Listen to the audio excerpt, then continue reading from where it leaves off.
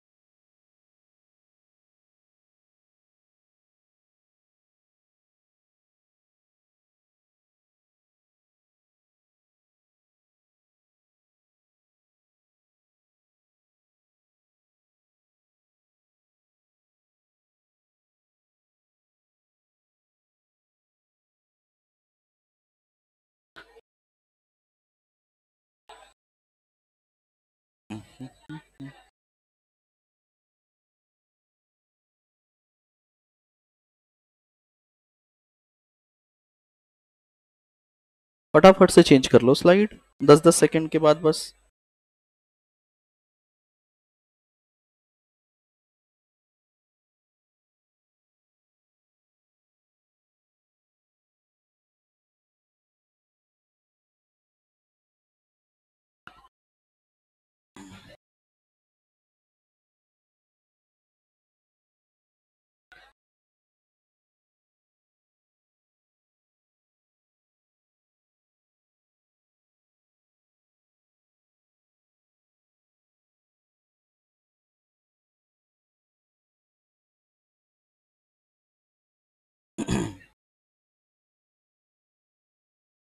Hello.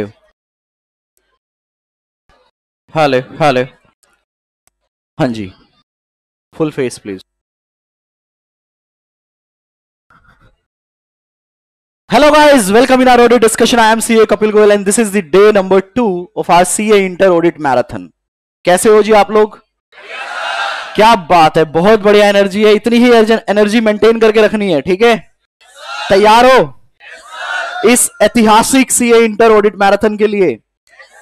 और मैं साथ ही साथ पूछना चाहूँगा, बहुत सारे स्टूडेंट लाइव भी देख रहे हैं यूट्यूब पर।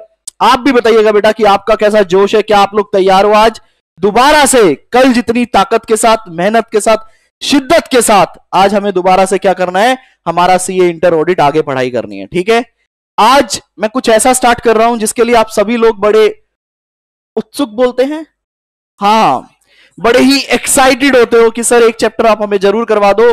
That is that is audit of item of financial statement तो तालियों के साथ स्वागत करते हैं आज हमारे सभी बच्चों का और लाइव वाले सभी स्टूडेंट्स का, जिन्होंने अपना पूरा दिन, कल का पूरा दिन, आज का पूरा दिन और आने वाला कल हमको देने वाले हैं। देखिए, मैंने प्रॉमिस किया था आप लोगों को कि मैं आपको हंड्रेड परसेंट सिलेबस करवाऊँगा। ठीक है? अब भाई कोई हलवा तो है नहीं। हमने गैस पे कढ़ाई लगाई, आटा डाला, पानी डाला, चीनी डाली और खा लिया। हाँ या ना?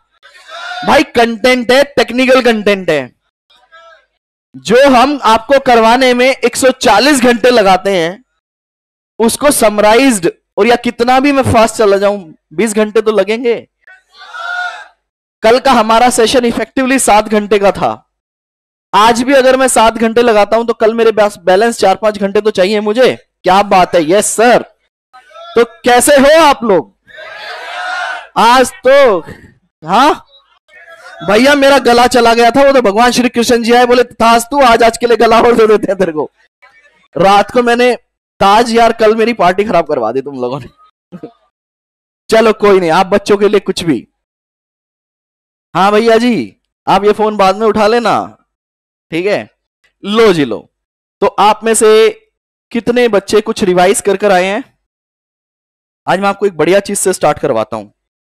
कुछ एनालिसिस दिखाता हूँ स्टार्टिंग में देन विल स्टार्ट हाँ जी लाइव वाले सभी स्टूडेंट भी कमेंट कर कर बताएँगे कि आप लोग तैयार हो। सर, कैसे बताएँ? वीडियो को लाइक कर दो, मैं समझ जाऊँगा। आप लोग भी लाइक करोगे, कर दो। लो जी बेटा। एक एनालिसिस है, ये सारे एनालिसिस आपको Telegram channel CA Kapil Goyal पे मिल जाएँगे। एक ऑडिट नोट्स का चैनल है, वहाँ पे सब हमेशा अवेलेबल रहेगा। मैं मेन टेलीग्राम पे भी डालता हूँ मेन टेलीग्राम पे, लेकिन एक या दो दिन में कंटेंट रिमूव हो जाता है, हमेशा कहाँ रहेगा? सीए इंटर ऑडिट नोट्स वाले टेलीग्राम चैनल पे। एक बार एक एनालिसिस देख लो बस, छोटा सा। आप लोग चाहते हो ना कि सर जब मैं मेन एग्ज़ाम में जाऊँ तो पिछली बार के जितने भी पेपर्स हैं, वो सब करके चला जाऊँ? चाहते हो दिल में एक इच्छा होती है कि सर, काश मैं पिछले अटेम्प्ट के दस साल के पेपर करके चला जाता, या छह अटेम्प्ट के पेपर करके चला जाता। और कोई ऐसा तरीका सर कि मैं सिर्फ़ और सिर्फ़ आधे घंटे में सारे पेपर कर लू? कितनी मिनट में? Thirty minutes and all the past year papers done तो मैंने क्या किया है आप लोगों के लिए? To save your time camera का एंगल थोड़ा नीचे करो। हाँ full screen to save your time मैंने आपके लिए एक समरी बनाई है। ठीक है?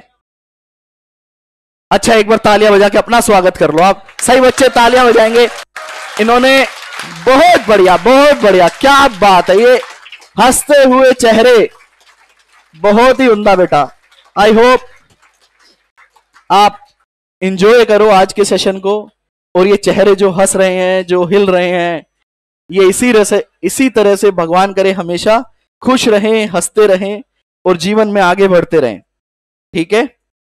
ले आओ भैया, ले आओ आप वापस से ले आओ हमारे पास। भैया फुल स्क्रीन डालेंगे एक बार with face with face with face with face देखेगा ये एक समरी है जो आपको मिलने वाली है। स्क्रीन दिखा दो साथ में। स्क्रीन दिखा दीजिए साथ में। हाँ बस बस परफेक्ट ये एक, ये आपको एक समरी मिलने वाली है। इस समरी में अगर आप देखेंगे, सबसे पहले क्या आ रहा है बेटा? क्वेश्चन नंबर अच्छा ये सबसे पहले क्या आ रहा है? क्वेश्चन नंबर आपके पेपर में जो डिस्क्रिप्टिव क्वेश्चन आते हैं ना आपके, एक सेकेंड सुनेंगे प्यारे बच्चे। क्वेश्चन नंबर वन क्या होता है? करेक्ट इनकरेक्ट टू से हमारा डिस्क्रिप्टिव पार्ट स्टार्ट होता है। तो आप देखेंगे, यहाँ पे मैंने लिखा है क्वेश्चन नंबर टू ए और उसी की तरह फिर हमारा क्वेश्चन नंबर सिक्स तक होता है एक पेपर में, ठीक है? हमने क्या किया है? सबसे पहले मैंने लिस्ट बनाई, फिर इसको सोर्ट कर दिया। क्योंकि आपके लिए अटेम्प्ट वाइज इंपॉर्टेंट नहीं है। आपके लिए चैप्टर वाइज और अटेम्प्ट वाइज दोनों इंपॉर्टेंट है। क्योंकि हो सकता है आज आप चैप्टर वन का रिवीजन कर रहे हैं तो आपका मन करेगा, यार, पिछले अटेम्प्ट के सारे चैप्टर वन के क्वेश्चन बता दे कोई। तो मैंने क्या किया, इसी की साइड में कॉलम ऐड किया, क्या अटेम्प्ट कि किस पेपर में ये क्वेश्चन आया था, और कौन सा चैप्टर उसका नाम भी डाल दिया, क्योंकि हो सकता है मेरी बुक के अंदर चैप्टर नंबर अलग हो आईसीआई में अलग हो। अब एक एग्ज़ाम्पल दे रहा हूँ सिर्फ़ आपको। जैसे अगर आपने चैप्टर वन तैयार कर लिया आज पास्ट ईयर के क्वेश्चन आपके पेपर में आएँगे, इसकी कोई ज़िम्मेदारी नहीं है। जस्ट फॉर प्रैक्टिस कि भाई अगर मैंने चैप्टर वन कर लिया है तो क्या मैं पिछली बार के अगर मैं छह अटेम्प्ट कर सकता हूँ तो आने वाले भी कर सकता हूँ, एक पॉजिटिवनेस के लिए। तो आपने देखा भाई क्वेश्चन नंबर टू ए आया था, जो कि है एथिकल रिक्वायरमेंट और पेपर में कब आया था ये? जैन ट्वेंटी वन में। फिर उसके बाद क्वेश्चन नंबर टू सी आया था इनहेरेंट लिमिटेशन ऑफ़ ऑडिट का एक पार्ट होता है अदर मैटर्स वो कब आया था? जुलाई ट्वेंटी वन में। टू, ए था प्री कंडीशन ऑफ़ एसेट 210 कब आया था? नवंबर 21 में। ऑब्जेक्टिव ऑफ़ ऑडिटर आया था मई 22 में। उसके बाद client can request change in terms of audit engagement, आपका आया था नवंबर 22 में। पाँच अटेम्प्ट और कितने क्वेश्चन आए? पाँच। ये मैं बात कर रहा हूँ डिस्क्रिप्टिव की। MCQ correct incorrect are separate इसी के साथ आप देखेंगे मैंने एक कॉलम ऐड किया है नंबर ऑफ़ क्वेश्चंस पाँच अटेम्प्ट की मैंने वर्किंग आपको दी है। कितने एक बार क्वेश्चन आया? पाँच बार। अगर आप देखेंगे chapter number three audit documentation and audit evidence कितनी बार क्वेश्चन आया है? चौदह क्वेश्चन आपके पेपर में आए हैं। मतलब on an average on an average अगर आप देखेंगे, तेरह से पंद्रह परसेंट डिस्क्रिप्टिव पार्ट का आपका कौन सा चैप्टर कवर करता है? उसके अलावा एमसीक्यू करेक्ट इनकरेक्ट अलग। मतलब मैं ये बोलना चाह रहा हूँ बेटा, तीन से चार क्वेश्चन मिनिमम आपके पेपर में आते हैं, कोई भी अटेम्प्ट उठा लेना आप कहाँ से? चैप्टर नंबर थ्री से। तो आपको चैप्टर थ्री का हर एक स्टैंडर्ड ऑन टिप्स होना चाहिए। तेरह से पंद्रह नंबर तो डिस्क्रिप्टिव है भाई, चार से पाँच वो एमसीक्यू करेक्ट इनकरेक्ट और लेके जाएगा। तो मतलब 120 नंबर का पेपर है 20 नंबर का पेपर कहाँ से है? चैप्टर और मैं कोई ये, मैंने दो चार वीडियोस और देखी थी यूट्यूब पे। नल्ले लोग कुछ पता होता नहीं कुछ भी बोल देते बेटा, ये चैप्टर कर लो, ये चैप्टर कर लो, ये बीस नंबर का काम आ जाएगा। भाई प्रूव तो कर। साले सात नंबर का काम आता है वहाँ से। तूने बच्चों को मिसगाइड कर दिया बीस बोल के। बच्चा कहेगा, ठीक है जी, बीस नंबर का कर भाई, कहा? उसमें आज तक छह अटम में बीस नंबर का काम नहीं आया। तो मैं जो बात कर रहा हूँ फैक्ट के बेस पे कर रहा हूँ। कोई भी ये नहीं जजमेंट है या वो है। मैंने आपको सब बना के दे दिया। ये बेटा इसलिए दे रहा हूँ क्योंकि आप इसके हिसाब से साठ नंबर के लिए भी तैयारी कर सकते हो। पचास के लिए भी कर सकते हो, अस्सी के लिए भी कर सकते हो और सौ के लिए भी कर सकते हो। दूसरी एक और चीज़, आपको एक कलर हाईलाइटेड दिख रहा है। ये वो क्वेश्चन है जो मेरी जजमेंट में कुछ अच्छे क्वेश्चन है, बाकी सब तो प्लेन क्वेश्चन है। बाकी सब क्या है? ये वो क्वेश्चन मैंने आपके लिए हाईलाइट कर दिए जो मेरे हिसाब से according to my professional judgement these are the good question जिनको आप एक बार रेफर कर सकते हो पूरा सिलेबस करने के बाद। इवन चैप्टर वाइज भी जब आपने किए ना तो आप इन क्वेश्चन को अलग से कर सकते हो। तकरीबन आठ से दस क्वेश्चन है out of hundred and five question कितने? अगर आप काउंट करेंगे तो सात या आठ क्वेश्चन मैंने मार्क किए बाकी सारे डायरेक्ट क्वेश्चन है। Out of hundred and five अब मैं बात करता हूँ audit of item of financial चलो फोर्टीन क्वेश्चन कहाँ से है? चैप्टर नंबर थ्री से। तो आपको एक चीज़ तो पता चल गई, मैं कुछ भी छोड़कर जाऊँगा। चैप्टर थ्री का हर एक स्टैंडर्ड उसमें से जो भी पॉसिबल क्वेश्चन है, पूरा अच्छे से कर कर जाऊँगा। अब आगे आ जाओ। चैप्टर नंबर फोर वो तो बेस है, आपको पता ही है भाई। उसमें से नो क्वेश्चन आए हैं। मतलब ऑन एन एवरेज दो क्वेश्चन आपके हर पेपर में आते हैं, लेकिन चैप्टर फोर नहीं आता, अब बाकी पेपर अटेम्प्ट नहीं कर पाओगे। आपके फ्रॉड में से पाँच क्वेश्चन पाँच अटेम्प्ट मतलब एक क्वेश्चन की एवरेज आती है। ऑटोमेटेड एनवायरमेंट में पाँच अटेम्प्ट कितने क्वेश्चन एक से ज़्यादा क्वेश्चन की एवरेज है एमसीक्यू करेक्ट इनकरेक्ट अलग है। उसके बाद आपका सैंपलिंग आता है। सैंपलिंग में से आपके पाँच क्वेश्चन है। एक क्वेश्चन की एवरेज है। एनालिटिकल प्रोसीजर पाँच क्वेश्चन पाँच अटेम्प्ट एक क्वेश्चन की एवरेज है। ऑडिट रिपोर्ट इतना आसान चैप्टर ऐसे 700 सीरीज़ कवर होती है। एक से ज़्यादा क्वेश्चन की वहाँ से आपकी कवरेज हो जाती है। अब बात करते हैं कंपनी ऑडिट पाँच अटेम्प्ट क्वेश्चन कितने हैं? ग्यारह। और इसमें मैं कारो ऐड नहीं कर रहा हूँ। आप कारो भी ऐड करोगे तो इसको पंद्रह कर लो आप। तो इसका मतलब अगर मैं कंपनी ऑडिट और कारो को भी बहुत अच्छे से करके जा रहा हूँ, मेरे कितने डिस्क्रिप्टिव क्वेश्चन कवर हो जाएँगे? तीन। चैप्टर थ्री मैंने अच्छे से कर लिया, मेरे कितने क्वेश्चन कवर हो जाएँगे? मिनिमम तीन से चार। ठीक है? तो और एक और खास बात। सिंस कंपनी ऑडिट आपका लो का सब्जेक्ट है ना, आप पिछले दस अटेम्प्ट का पेपर उठा लो। दस अटेम्प्ट का। इंटर ऑडिट के अंदर आईसीआई ने कभी भी कंपनी ऑडिट में बच्चे को घुमाया नहीं है। वो हर चैप्टर में घुमाएगा। हो सकता है वो आपको एनालिटिकल प्रोसीजर में केस स्टडी बना के दे ओपनिंग बैलेंस में केस स्टडी बना के दे गोइंग कंसर्न में केस स्टडी बना के दे। कंपनी ऑडिट में वो बच्चे को लॉलीपॉप क्वेश्चन देता है। आप सारे क्वेश्चन देख लो। सारे डायरेक्ट क्वेश्चन है, सारे। मैं एक बार रीड कर रहा हूँ आपके लिए। भाई रिमूवल ऑफ़ ऑडिटर का क्या कंसेप्ट है वो बता दो। सेक्शन वन सारे क्वेश्चन बता रहा हूँ पिछले पाँच अटेम्प्ट के। सेक्शन 144 की कौन कौन सी सर्विसेज़ होती है वो बता दो। अपॉइंटमेंट ऑफ़ इंटरनल ऑडिटर का प्रोविज़न बता दो। कोर्स रिकॉर्ड कौन से मेंटेन होते हैं वो बता दो। फ़ंक्शन ऑफ़ ऑडिट कमेटी क्या होती है वो बता दो। Penalty in case of casual vacancy वो बता दीजिए। सेक्शन 143 में रिपोर्टिंग के अंदर क्या किया जाता है, वो बता दीजिए। रिपोर्टिंग ऑफ़ फ्रॉड का कंसेप्ट पनिशमेंट क्या है सेक्शन 147 की? Right to lien of the books of account maximum number of audit engagement क्या है? कोई भी केस स्टडी है, वो क्वेश्चन लिखेगा, आखिरी में आपसे डायरेक्ट पूछेगा तो कंपनी ऑडिट के सारे क्वेश्चन आपके कैसे आते हैं हमेशा? प्लेन वनीला क्वेश्चन कोई घुमाएगा नहीं। आगे आ जाओ। फिर आप एक चैप्टर करते हो जिसकी आज मैं शुरुआत करवाने वाला हूँ। क्या नाम है उस चैप्टर का? ऑडिट ऑफ़ कितने क्वेश्चन है? सोलह क्वेश्चन हर अटेम्प्ट में मिनिमम तीन और चार क्वेश्चन आपके पेपर में आते हैं। अभी मैं स्टार्ट करवाऊँगा तो इसमें थोड़ा और डिटेल में बात करूँगा। सर ये तो आप मज़ाक कर रहे हो। इसका मतलब मेरे को पाँच क्वेश्चन में से चार करने हैं। चार में चार चार मतलब सोलह क्वेश्चन अटेम्प्ट करने हैं। तीन से चार में कर, तीन में कर दूँगा चैप्टर थ्री के, तीन कर दूँगा कंपनी ऑडिट कारों के, तीन से चार कर दूँगा मैं आइटम के। बच्चे कितने? तीन चार क्वेश्चन आया ना? यस और नो तो वो तीन चार कहाँ से आएँगे? चैप्टर पाँच छह सात, आठ से। फिर सर मेरा डिफरेंट टाइप एंटिटी कहाँ जाएगा? मन में आएगा सवाल। वो भी तो वो भी तो एक प्यारा सा चैप्टर है, बड़ा सा। आ जाओ, उसकी भी बात करते हैं। उसमें से कितने क्वेश्चन है आपके? ग्यारह। लेकिन यहाँ एक गेम है। ग्यारह क्वेश्चन मतलब पाँच अटेम्प्ट दो क्वेश्चन के एवरेज लेकिन यहाँ इसे एक गेम खेल जाता है। ये दो है। कभी कभी तीन होते हैं। तीन है तो ये दो है दो है तो ये एक है। तो समझ आई मेरी बात? नहीं समझ आई। लाइव वालों बताओ, समझ आई मेरी बात? वीडियो लाइक करो, मैं आगे बात नहीं कर रहा। भैया लाइव वाले कैमरा हटा दो, मैं लाइव वालों से भी बात नहीं कर रहा। तीन सौ बच्चे लाइव देख रहे हैं, वो लाइक सत्तर। सीने में पत्थर लगता है भाई। सुनो सुनो सुनो सुनो। तीन है तो दो है दो है तो एक है। क्या मतलब हुआ इसका? सुनिएगा, आपके क्वेश्चन नंबर सिक्स के अंदर च्वाइस आती है। क्वेश्चन नंबर सिक्स का ए और दूसरा भी क्वेश्चन नंबर सिक्स का और में ए ही होगा। वो दोनों ही साले ने किसके दे दिए? डिफरेंट टाइप ऑफ़ क्वेश्चन दो है करना तो एक ही है। ये दोनों लिखोगे। Question number six A answer मैं करके आया हूँ चैप्टर फिर और क्वेश्चन नंबर सिक्स का आंसर ए, भाई पेपर में नंबर तो एक के ही मिलेंगे. तो इस चैप्टर में आईसीआई क्या करता है? ऑप्शन में आंसर क्वेश्चन रखता है. वो दूसरा गेम कैसे खेलेगा? क्वेश्चन नंबर सिक्स में पाँच क्वेश्चन आते हैं. है ना? क्योंकि एक ऑप्शन उसमें भी होता है. Out of five you have to attempt four इस छठे क्वेश्चन में तीन क्वेश्चन डाल दिए. किसके? गवर्नमेंट ऑडिट के. तो दो मान लो, दो मेरे को बाकी कोई अच्छे से आता है, मैं दो अटेम्प्ट करूँगा। या मान लो कोई बच्चा कहता है, मैंने छठा ही अटेम्प्ट नहीं करना। तो उसके लिए चैप्टर क्या हो गया? खत्म। फिर वो एक एक क्वेश्चन कहाँ से अटेम्प्ट करेगा? Chapter five six seven eight या वन या टू कहीं से भी। भाई, मेरी एनालिसिस समझ आई? आपको हेल्प करेगी एग्ज़ाम में?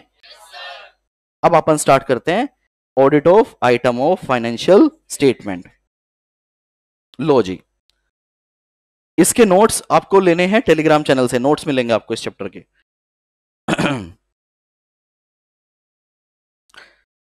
अच्छा बच्चे कह रहे हैं, सर, हमने लाइक कर दी। आपने लाइव पहले चला के छोड़ दिया होगा शुरू में। तब लाइक कम थे, अब आप ओपन करो। ओहो, माफ़ करो बेटा।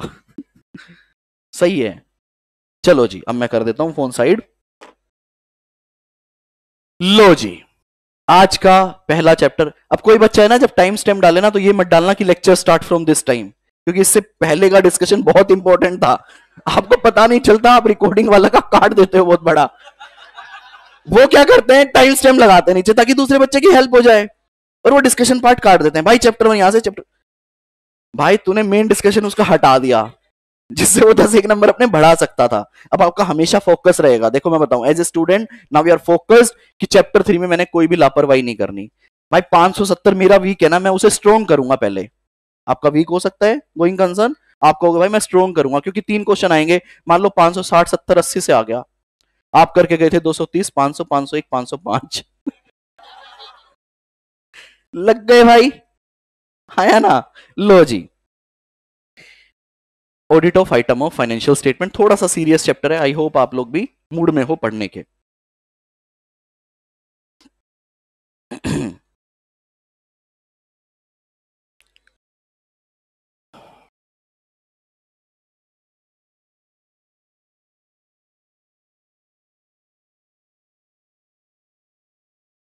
अरे बिना लिखे ही पढ़ाते हैं आपको यार, ऐसे टाइम बहुत लग जाएगा।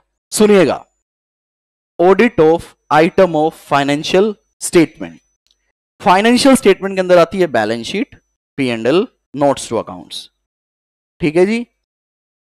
बैलेंस शीट और पी एंड एल कौन बना रहा है? मैं तसल्ली से पढ़ाऊ ना यारो। आपको जल्दी है? मुझे भी नहीं है। बैलेंस शीट फाइनेंशियल स्टेटमेंट कौन बनाएगा? मैनेजमेंट बनाएगा जी। फाइनेंशियल स्टेटमेंट बनाने की ज़िम्मेदारी मैनेजमेंट की। सही बनाने की या गलत बनाने की? सही बनाने की। तो मैनेजमेंट फाइनेंशियल स्टेटमेंट बनाती है और वो फाइनेंशियल स्टेटमेंट बनाकर मुझे दे देती है। लो जी, अब ये फाइनेंशियल्स हैं। जब वो फाइनेंशियल स्टेटमेंट मेरे पास आए, वो अभी ऑडिटेड नहीं है। क्या उस पर मैनेजमेंट बोर्ड ऑफ़ डायरेक्टर को अप्रूव करना पड़ता है साइन करना पड़ता है? हाँ फाइनेंशियल्स को अप्रूव करना पड़ता है कि भैया देखो, हमने फाइनेंशियल बना दिए साइन ठप्पा। अब वो साइन और ठप्पा क्या बोलता है? कि वो सही का मतलब क्या है? कि अगर यहाँ पे फिक्स एसेट्स पाँच हज़ार करोड़ की आ रही है तो इसका मतलब है, ये फिक्स एसेट्स हमारी है। ये फिक्स एसेट्स एग्जिस्ट करती हैं। हा या ना? हा या ना? अगर उसमें कैश बैलेंस आ रहा है तो वो हमारा है। क्या बात है? कहाँ थे तुम? तो वो हमारा है। बेसिकली वो जितनी भी आइटम उसने यहाँ पे डाली है, वो सबको अजर्ट करता है। सब पे एक एश्योरिटी देता है कि ये सब कंपनी से बिलोंग करता है, चाहे एसेट है या लाइबिलिटीज है। और उसने साइन करके दे दिया। अब ऑडिटर के पास वो फाइनेंशियल आ गए। ऑडिटर को इनको ऑडिट करना है और उसे एक साइन करके एक ओपिनियन देना है कि ये financial statement are giving a true and fair view sir इस ट्रू एंड फेयर व्यू का मतलब क्या है? इस true and fair view are free from material statement ठीक है बट इसका एक अगर अपन बिल्कुल बेसिक तरीके से पूछे what is this true and fair view यार ट्रू एंड फेयर व्यू का मतलब यह है कि जो फिगर्स यहाँ आ रही हैं, जो मैनेजमेंट बोल रही है साइन मतलब बोल रही है, वो सही बोल रही है। मतलब जो उसने अजर्ट किया है, वो सही है। उसने क्या क्या अजर्ट किया है कि हमारे फाइनेंशियल के अंदर जो भी आ रहे हैं, वो कंप्लीट है। यहाँ पे जितनी भी एसेट्स आ रही है, वो सारी एग्जिस्ट करती है। ये पूरे फाइनेंशियल क्या है? एक्यूरेट है। जितने भी लाइबिलिटीज है उनपे हमारा क्या है? ओब्लिगेशन है। हमने जो भी फाइनेंशियल बनाए हैं, उनका presentation as per F R F है। इसी को तो मैं बोलता हूँ क्या? अजर्शन और सिवो इसका मतलब एक ऑडिटर को कुछ नहीं चेक करना होता। जो मैनेजमेंट ने अजर्ट किया है, उन्हीं अजर्शन को क्या करना पड़ता है? वेरीफाई करना पड़ता है और once I will verify all the assertion मैं बोलता हूँ, मेरा एरिया क्या हो गया है? कंप्लीट हो गया है। इसीलिए अजर्शन को क्या बोला जाता है? अजर्श assertion are the representation made by the management कि जो मैनेजमेंट ने रिप्रेजेंटेशन किया है, वो अजर्शन होती है, जिनको हम लोग क्या करते हैं? वेरीफाई करते हैं। दो तीन तरह से अजर्शन हो सकती है। आपके फाइनेंशियल में लिखा हुआ है cash in hand ten thousand rupees अब आपके दिमाग में क्या आएगा? किताबें बंद कर सकते हो आप लोग। आपके दिमाग में क्या आएगा? भाई कैश इन हैंड आठ हज़ार, दस हज़ार, बीस हज़ार, पचास हज़ार हो सकता है। आपके दिमाग में कब क्या आएगा कि ये कैश इन हैंड कंपनी से बिलोंग करता है। कंपनी का इस पे राइट है। ये फ्री है। ये वैलिड करेंसी के अंदर है। यही तो आप बोलोगे। हाँ या ना? आपकी बुक्स ऑफ़ अकाउंट में आ रहा है पीपीएनई पाँच हज़ार करोड़। डेप्रिशिएशन टिल ईयर पिछले सालों तक का इतना डेप्रिशिएशन फॉर करंट ईयर इतना, और बैलेंस उसका डब्ल्यू इतना, जो भी है। इससे हमें क्या पता चलता है कि भाई कंपनी के पास plant and machinery fix assets पाँच हज़ार करोड़ की है, उसका वैल्यूएशन जो किया है वो सही तरीके से किया है एज पर जो भी अकाउंटिंग स्टैंडर्ड है टेन उसके हिसाब से क्या हुआ है। लास्ट ईयर का डेप्रिशिएशन इतना था करंट ईयर का डेप्रिशिएशन का कैलकुलेशन इतना है, और डब्ल्यूडीवी इतना है। समझ आ रही है बातें? अगर कंपनी लिख देती है बोरोविंग सौ करोड़। तो क्या समझ आता है? कि आपने को यह समझ आता है कि सर बोरोविंग जो है वो सौ करोड़ की है? कुछ और समझ आ रहा है? ओब्लिगेशन होगी सर पे करने की, कुछ और? सर, अभी बाकी कुछ लिखा नहीं है वहाँ पे तो अभी यहाँ पे इंफॉर्मेशन मिसिंग है। कि सर ये बोरोविंग किससे की गई है? किस रेट ऑफ़ इंटरेस्ट पे की गई है? वो भी तो लिखो फाइनेंशियल में। हा या ना? तो मतलब जो फाइनेंशियल में चीज़ें लिखी जाती हैं, मैं उनको रीड करता हूँ, पढ़ता हूँ। हमारे गुरुजी ने हमें बताया था, जो चीज़ मैं ऐसे बोलता हूँ मतलब हमारे टीचर ने हमें बताया था, जब मैं आपकी तरह पढ़ता था। आप भी शायद उनसे पढ़ रहे होंगे आज के दिन। हमारे गुरुजी ने हमें बताया था कि कपिल बेटा, ये जो फाइनेंशियल स्टेटमेंट है, जो अकाउंट्स है, ये कोई अकाउंट्स नहीं है। ये एक लैंग्वेज है। ये क्या है? ये मेरे वर्ड्स नहीं है। मेरे अकाउंट्स के गुरुजी के वर्ड्स हैं। और मैं उस चीज़ को आज बिल्कुल सही बोलता हूँ, वो सही बोलते थे। कहते थे, ये एक लैंग्वेज है। यहाँ पे आप कुछ भी लिख दो जनरल एंट्री में, मैं उसे पढ़कर बता दूँगा, ये क्या है? हा या ना? और वो लैंग्वेज कोई और नहीं पढ़ सकता, क्योंकि हम मुनि में हम ही पढ़ सकते हैं। ऐसा होता है क्या? अगर मैं लिखूं purchase account debit to bank हज़ार हज़ार तो आप बता दो कि इसका मतलब क्या है? क्या मतलब होता है इसका? कि हमने सामान खरीदा है, कितने का? क्या बात है यार। तो दिस इज़ लैंग्वेज मतलब ये ये चीज़ों को आसान बनाने का तरीका है माइंडसेट भाई, आपको एक लैंग्वेज सीखनी है, वो लैंग्वेज आ गई, आप अकाउंट किया कुछ भी बनवा लो आपसे, पढ़ते हुए जाना है आपने। समझ आ रही है बातें? तो मैनेजमेंट रिप्रेजेंट करती है अजर्ट करती है, हम उन चीज़ों को वेरीफाई करते हैं। मैंने तीन एग्ज़ाम्पल आपको दिए। अजर्शन दो तरीके की हो सकती है। नेगेटिव अजर्शन भी होती है। क्या? जैसे फाइनेंशियल स्टेटमेंट में आ रहा है बोरोविंग ज़ीरो। इसका क्या मतलब है? हा? भाई आपके यहाँ हमारे पास, हम बोल रहे हैं, हमारे पास बोरोविंग्स नहीं है। अरे, नहीं है तो लिखते नहीं। मैं मान लेता कि तुम्हारे पास, लेकिन वो फिर भी लिख रहा है। तो इसका मतलब क्या है? ये नेगेटिव एक्सप्रेस्ड अजर्शन हो गई। मैं एक्सप्रेस करके बता रहा हूँ। नहीं लिखते तो इंप्लाइड था। हाया ना? समझ आया अजर्शन अब फाइनेंशियल स्टेटमेंट के अंदर तीन एरिया में अजर्शन डिवाइडेड है। एक आपकी इनकम स्टेटमेंट दूसरा बैलेंस शीट तीसरा तीसरा presentation and disclosure balance sheet की एजर्शन क्या क्या थी बताना जरा? सीवोप जो पी की बात करता है, ये सेपरेटली करता है। कहते हैं जो प्रेजेंटेशन है, वो हम इनकम स्टेटमेंट और बैलेंस शीट दोनों का कंबाइन करके देखेंगे, ठीक है? सी का मतलब क्या है जी? कंप्लीटनेस ई का एग्जिस्टेंस ए का एक्यूरेसी वी का अवी का वैल्यूएशन और ओ का राइट एंड ओब्लिगेशन पी से प्रेजेंटेशन ये बैलेंस शीट की अजर्शन है. आपको बस इतना ज्ञान होना चाहिए कि मुझे अगर इनको इनकम में करना है तो कौन सा नाम किससे चेंज होगा? सी मेरा सी ही रहेगा. एग्जिस्टेंस अक्रंस मुझे देखना है कि सारी transaction during the year occur हुई है या ऐसा तो नहीं है, इस साल की ट्रांजेक्शन अगले साल चली गई हो और अगले साल की ट्रांजेक्शन इसके लिए हम एक ऑडिट प्रोसीजर करते थे, कौन सा? कट ऑफ़ टेस्टिंग याद है आप लोगों को? कट ऑफ़ टेस्टिंग उसके बाद एक्यूरेसी कि सारी ट्रांजेक्शन एक्यूरेटली गई है, और इसकी जगह हम मेज़रमेंट भी ले सकते हैं। एक्यूरेसी और मेज़रमेंट आप दोनों डाल सकते हो। वैल्यूएशन वैल्यूएशन ही रहेगा आपका, ठीक है? मेज़रमेंट यहाँ पे भी लिख सकते हो आप। एंड राइट एंड ओब्लिगेशन आपका जो भी आपने सामान खरीदा है, जो भी आपने रिवेन्यू किया है, उस पर आपका राइट होना ही चाहिए। तो बेसिकली एक अजर्शन हम बोलते हैं, बस आपने याद रखनी है अलग से। वो बताएगा कोई कौन सी है? ये इंटरव्यू का क्वेश्चन भी होता है। बाकी सारी आप सेम कॉमन बोल सकते हो। एक अजर्शन होती है जिसको हम बोलते हैं अक्रंस जो है वो ट्रांजेक्शन के लिए है, और जो मेरा एग्जिस्टेंस है वो ईयर एंड की चीज़ों के लिए है। ये चीज़ आप ध्यान रखना, क्योंकि पेपर इंटरव्यू में क्वेश्चन पूछ सकते हैं। एक ऐसी एजर्शन बताओ, जो बैलेंस शीट अकाउंट पे आप लगाओगे। तो आपने क्या बोलना है? एग्जिस्टेंस एक ऐसी एजर्शन बताओ जो आप ट्रांजेक्शन पे लगाओगे अक्रंस इन दोनों को मिक्स करके डाल दो कहाँ पे? प्रेजेंटेशन में। भाई एग्जिस्टेंस का अक्रंस आ गया कंप्लीटनेस और वैल्यूएशन एंड मेज़रमेंट तो इधर बैलेंस शीट की लिख दी और इधर ट्रांजेक्शन का लिख दिया। ठीक है जी? अब इस चैप्टर को, अब ये वही एग्ज़ाम्पल है जो मैंने आपके लिए लिए हैं। प्लांट एंड मशीनरी कितने की दे रखी है? दो लाख की। डेप्रेशन डाल दिया। करंट ईयर का डेप्रेशन डाल दिया, बैलेंस डाल दिया। तो इससे आपको क्या पता चलता है? आपने ये यहाँ पे नीचे लिख दिया। भाई, हमें इससे क्या क्या रीड कर पा रहे हैं? दूसरा एग्ज़ाम्पल देता है कि आपके यहाँ पे एक लोन है, कितने का? चार लाख। इससे आपको क्या पता चलता है? तो आप कहोगे, भैया, ये इनकम्प्लीट है, हमें ये इंफॉर्मेशन इसमें नहीं पता चल रही है। सर, ये करके जाना है। भाई, कुछ याद करने की ज़रूरत नहीं है अभी तक। ये सिर्फ़ आपको नॉलेज में होना चाहिए। आज से चार पाँच अटेम्प्ट पहले ये पेपर में क्वेश्चन आया था सेम यही।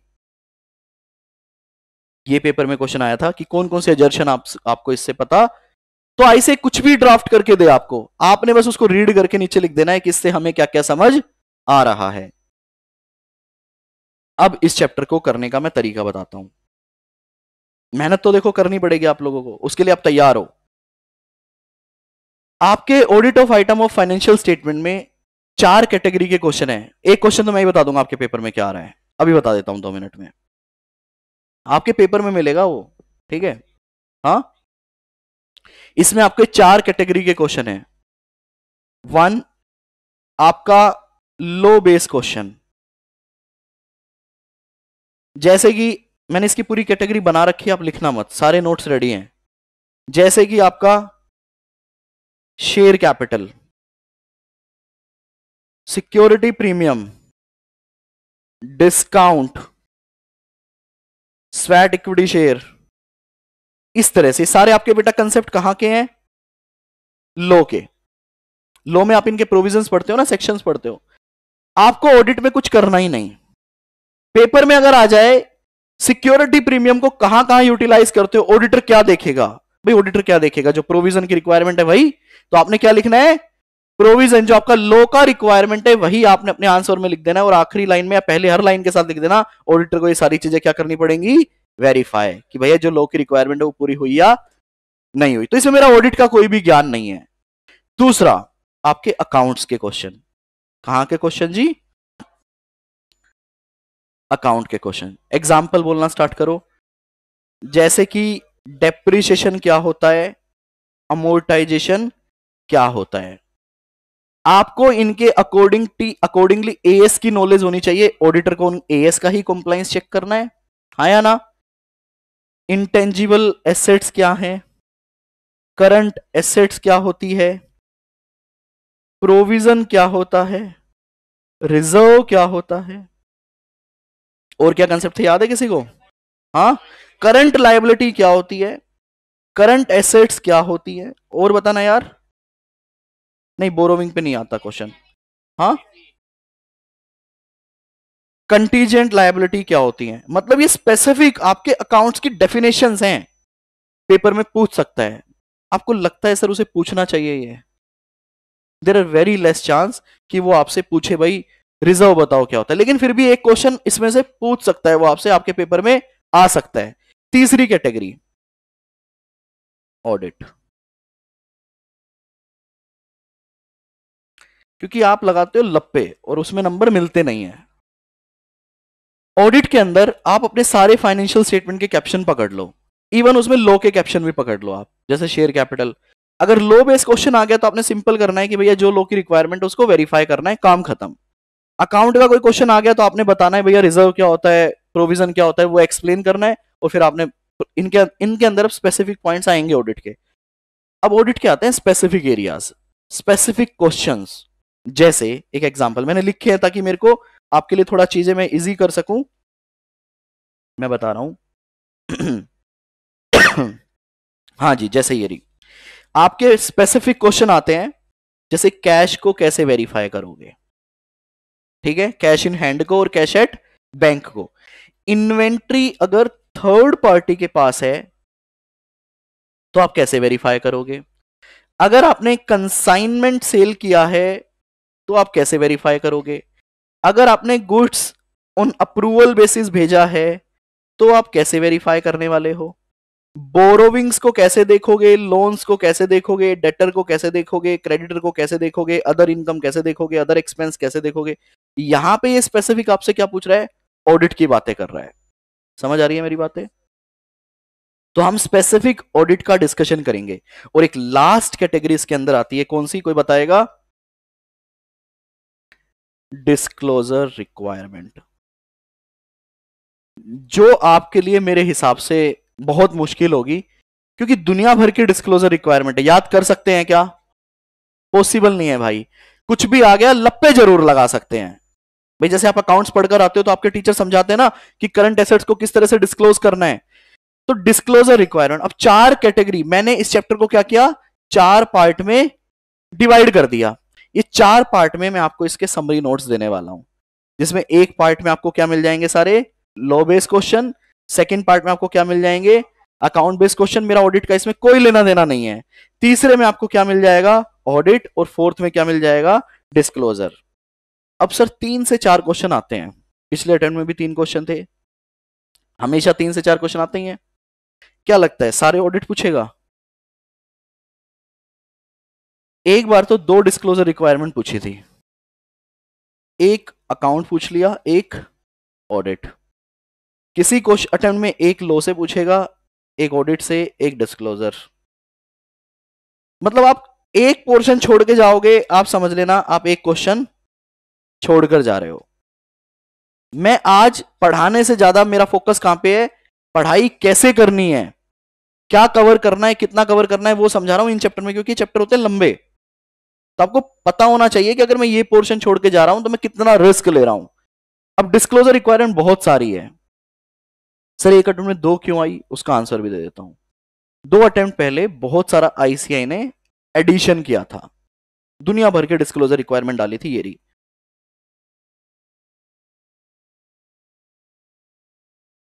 चैप्टर के आखिरी में अगर किसी के पास बुक है तो।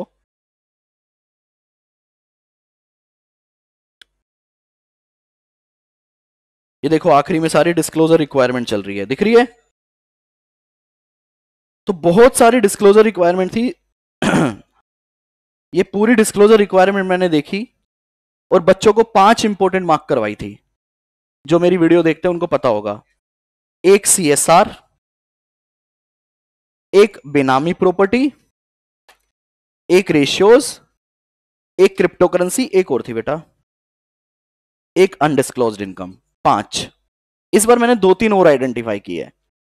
लेकिन एक अटेम्प्ट में इनमें से आ चुकी है आपकी सीएसआर और बेनामी एक ही अटेम्प्ट में दो आ गई।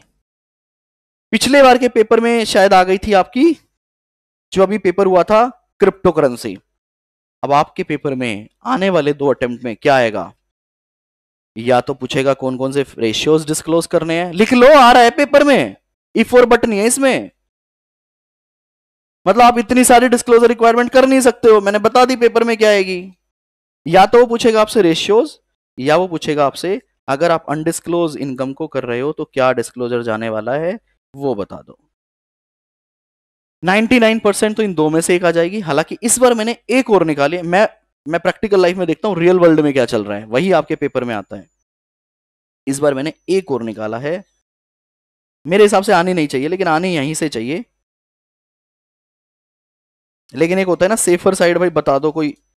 मेरे जैसा टीचर हुआ, अरे नहीं आ रही है तो कोई भी जज कर लेगा।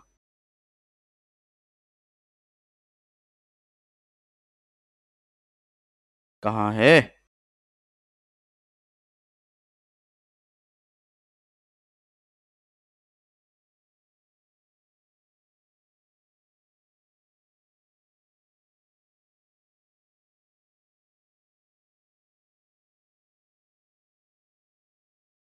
किसी को पीपीएन नहीं दिख रहा है।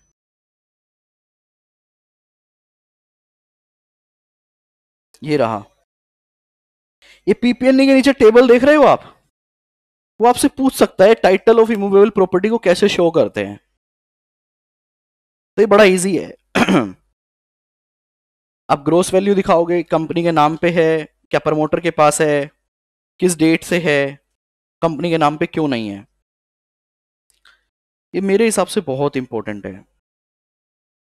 कारों में भी यही पॉइंट अगर आप देखोगे तो। इसीलिए निकाला है मैंने ये पॉइंट ठीक है? बस एक ये और देख लेना, अगर देखना हो तो डिस्क्लोजर रिक्वायरमेंट और बाकी आप अपने अकाउंट की नॉलेज के बेस पे। अगर वो पूछ ले कैश की डिस्क्लोजर रिक्वायरमेंट बताओ तो आपने भैया अपने अकाउंट में जो सीखा है, उसके हिसाब से लिख देना, बाकी नहीं। अब हम इसका डिस्कशन करते हैं अजर्शन वाइज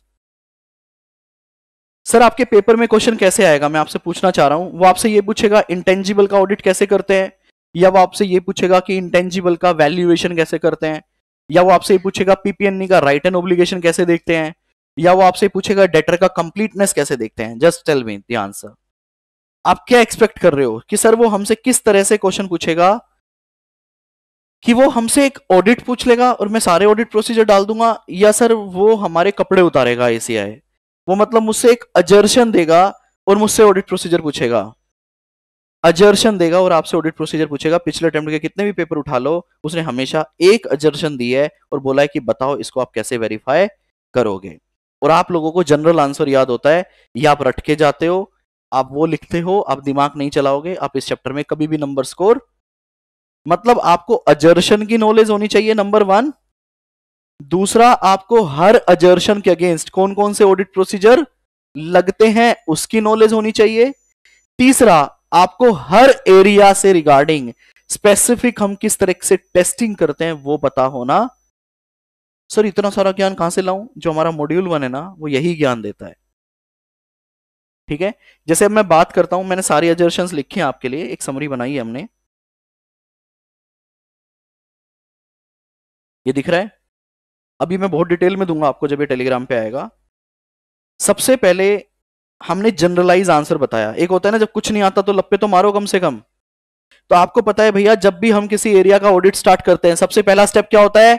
रिस्क असेसमेंट दूसरा कंट्रोल तीसरा सब्सटेंटिव सब्सटेंटिव का मतलब होता है, सर अजर्शन चेक करना। पहली अजर्शन कौन सी होती है? कंप्लीटनेस बेटा, मैंने राम बाँध दे दिया है आपको। इसको समझ लो, ये क्या है एक जड़ी बूटी है। कोई भी क्वेश्चन आए, कुछ नहीं समझ आ रहा, बस ये देख लो किस पे आया है। समझ आ रही है मेरी बात? कंप्लीटनेस ठीक है सर ये सारे पॉइंट उठाए, जो भी क्वेश्चन आया उसके साथ मिलाए और आंसर शीट में डाल दिए। नंबर आ जाएँगे, क्योंकि मैंने यहाँ पे मैक्सिमम ऑडिट प्रोसीजर आपको दे दिए। कंप्लीटनेस कैसे वेरीफाई करोगे? चाहे कोई भी एरिया हो, अपन ने डिस्कस ही नहीं करना किसका ऑडिट एरिया है। सर कंप्लीटनेस सी सबसे पहले सर हम टीओडी करेंगे। आईपी टेस्टिंग कर लेंगे टीओडी करेंगे सैंपल निकले, सारे डॉक्यूमेंट्स को वेरीफाई करेंगे, जिसको हम टू वे मैच और थ्री वे मैच बोलते हैं। तो सबसे पहले क्या है? एग्जामिनेशन ऑफ़ रिकॉर्ड इनवॉइस अब मैंने यहाँ अलग अलग तरह के एग्ज़ाम्पल के बेस पे लिख दिए भाई आप क्या क्या पेल सकते हो? दो पॉइंट आपने इनवॉइस पे बना दिए, एक सेल ऑर्डर बना दिया वो आपकी कला है। अब यहाँ पे क्या डिपेंड करता है? आपका माइंड आप कैसा लिख सकते हो? एग्जामिनेशन ऑफ़ रिकॉर्ड रिकॉर्ड के अंदर क्या क्या आ सकता है? Invoice agreement purchase order sale order delivery note gate register loan document register registry papers अब ऐसा मत करना पेपर में आए और ये सारे डॉक्यूमेंट भाई वो आपको दिमाग अब पेपर में आ गया how you will verify borrowing वो कह रहा है examination of record of invoice agreement purchase order तो भैया आपकी लंका लग जाएगी। ये पॉइंट है आपको बताने के लिए। इसमें से आपको रिलेवेंट कंटेंट निकालना है।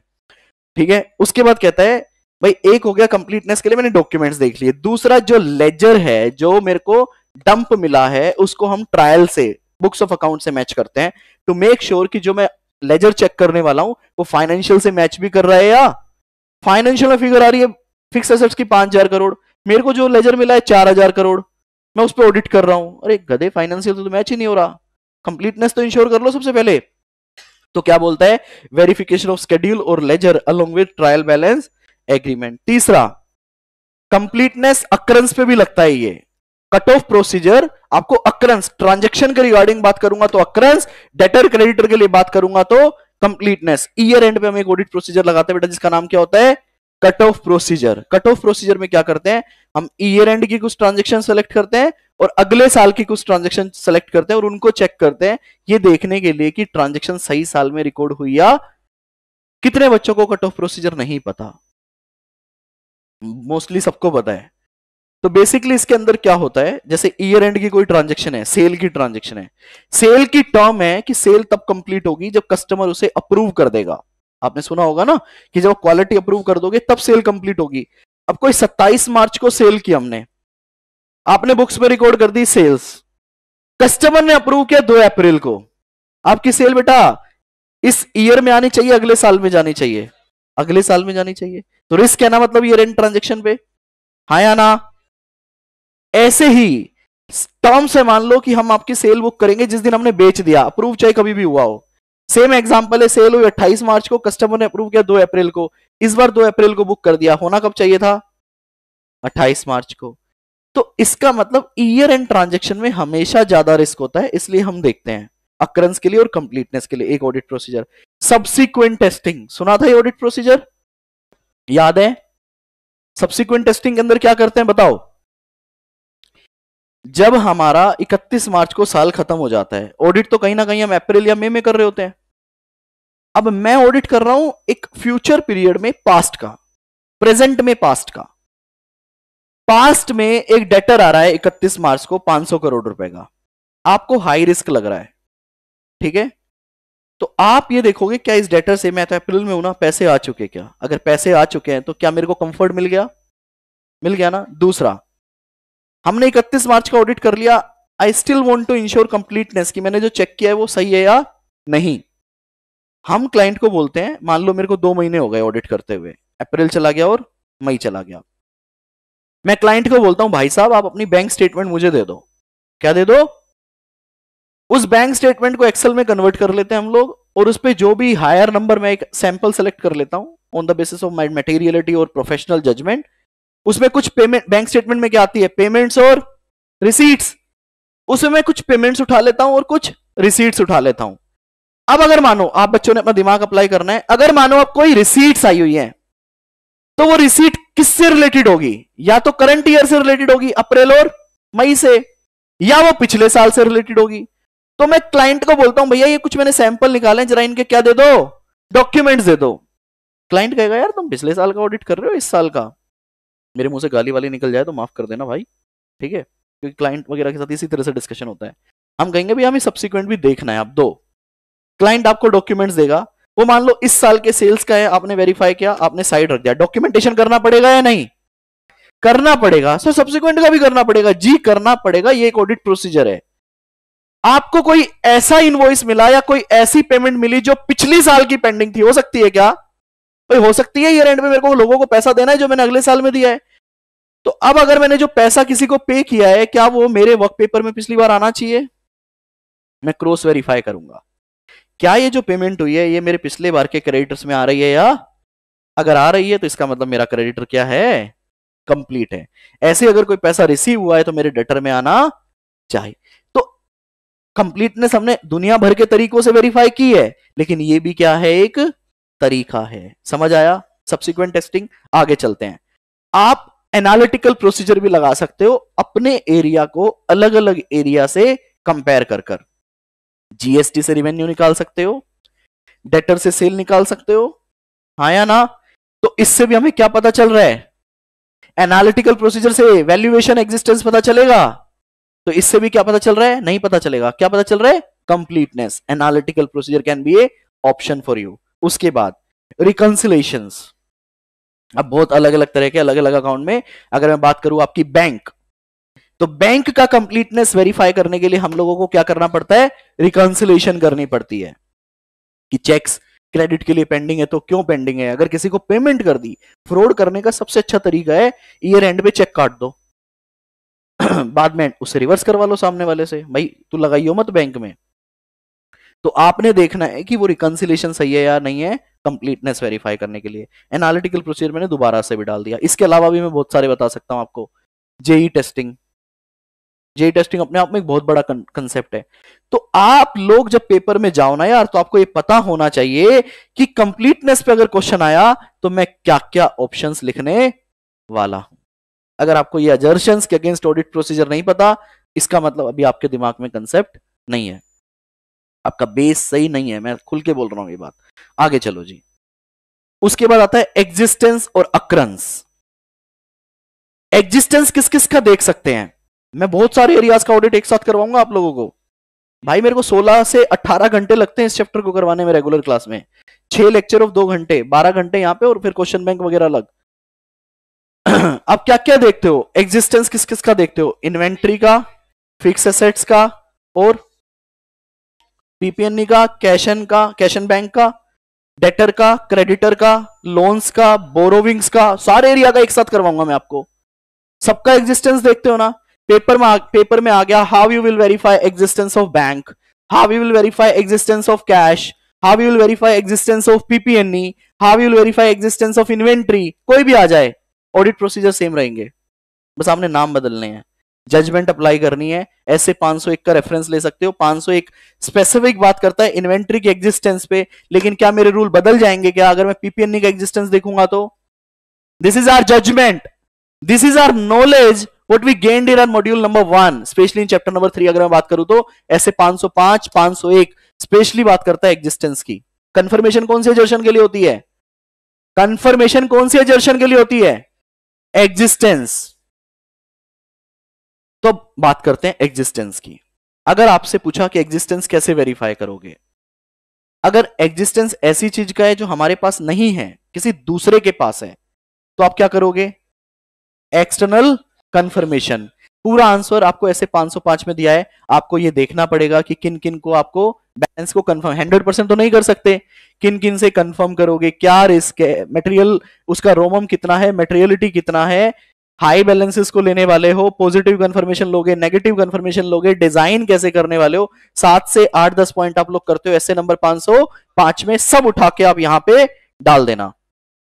लेकिन अगर कोई ऐसी कंफर्मेशन है ऐसा एग्जिस्टेंस है जो एग्जिस्ट करता है, जैसे इन्वेंट्री कैश आपका पीपीएनई तो कौन सा ऐसे लग जाएगा?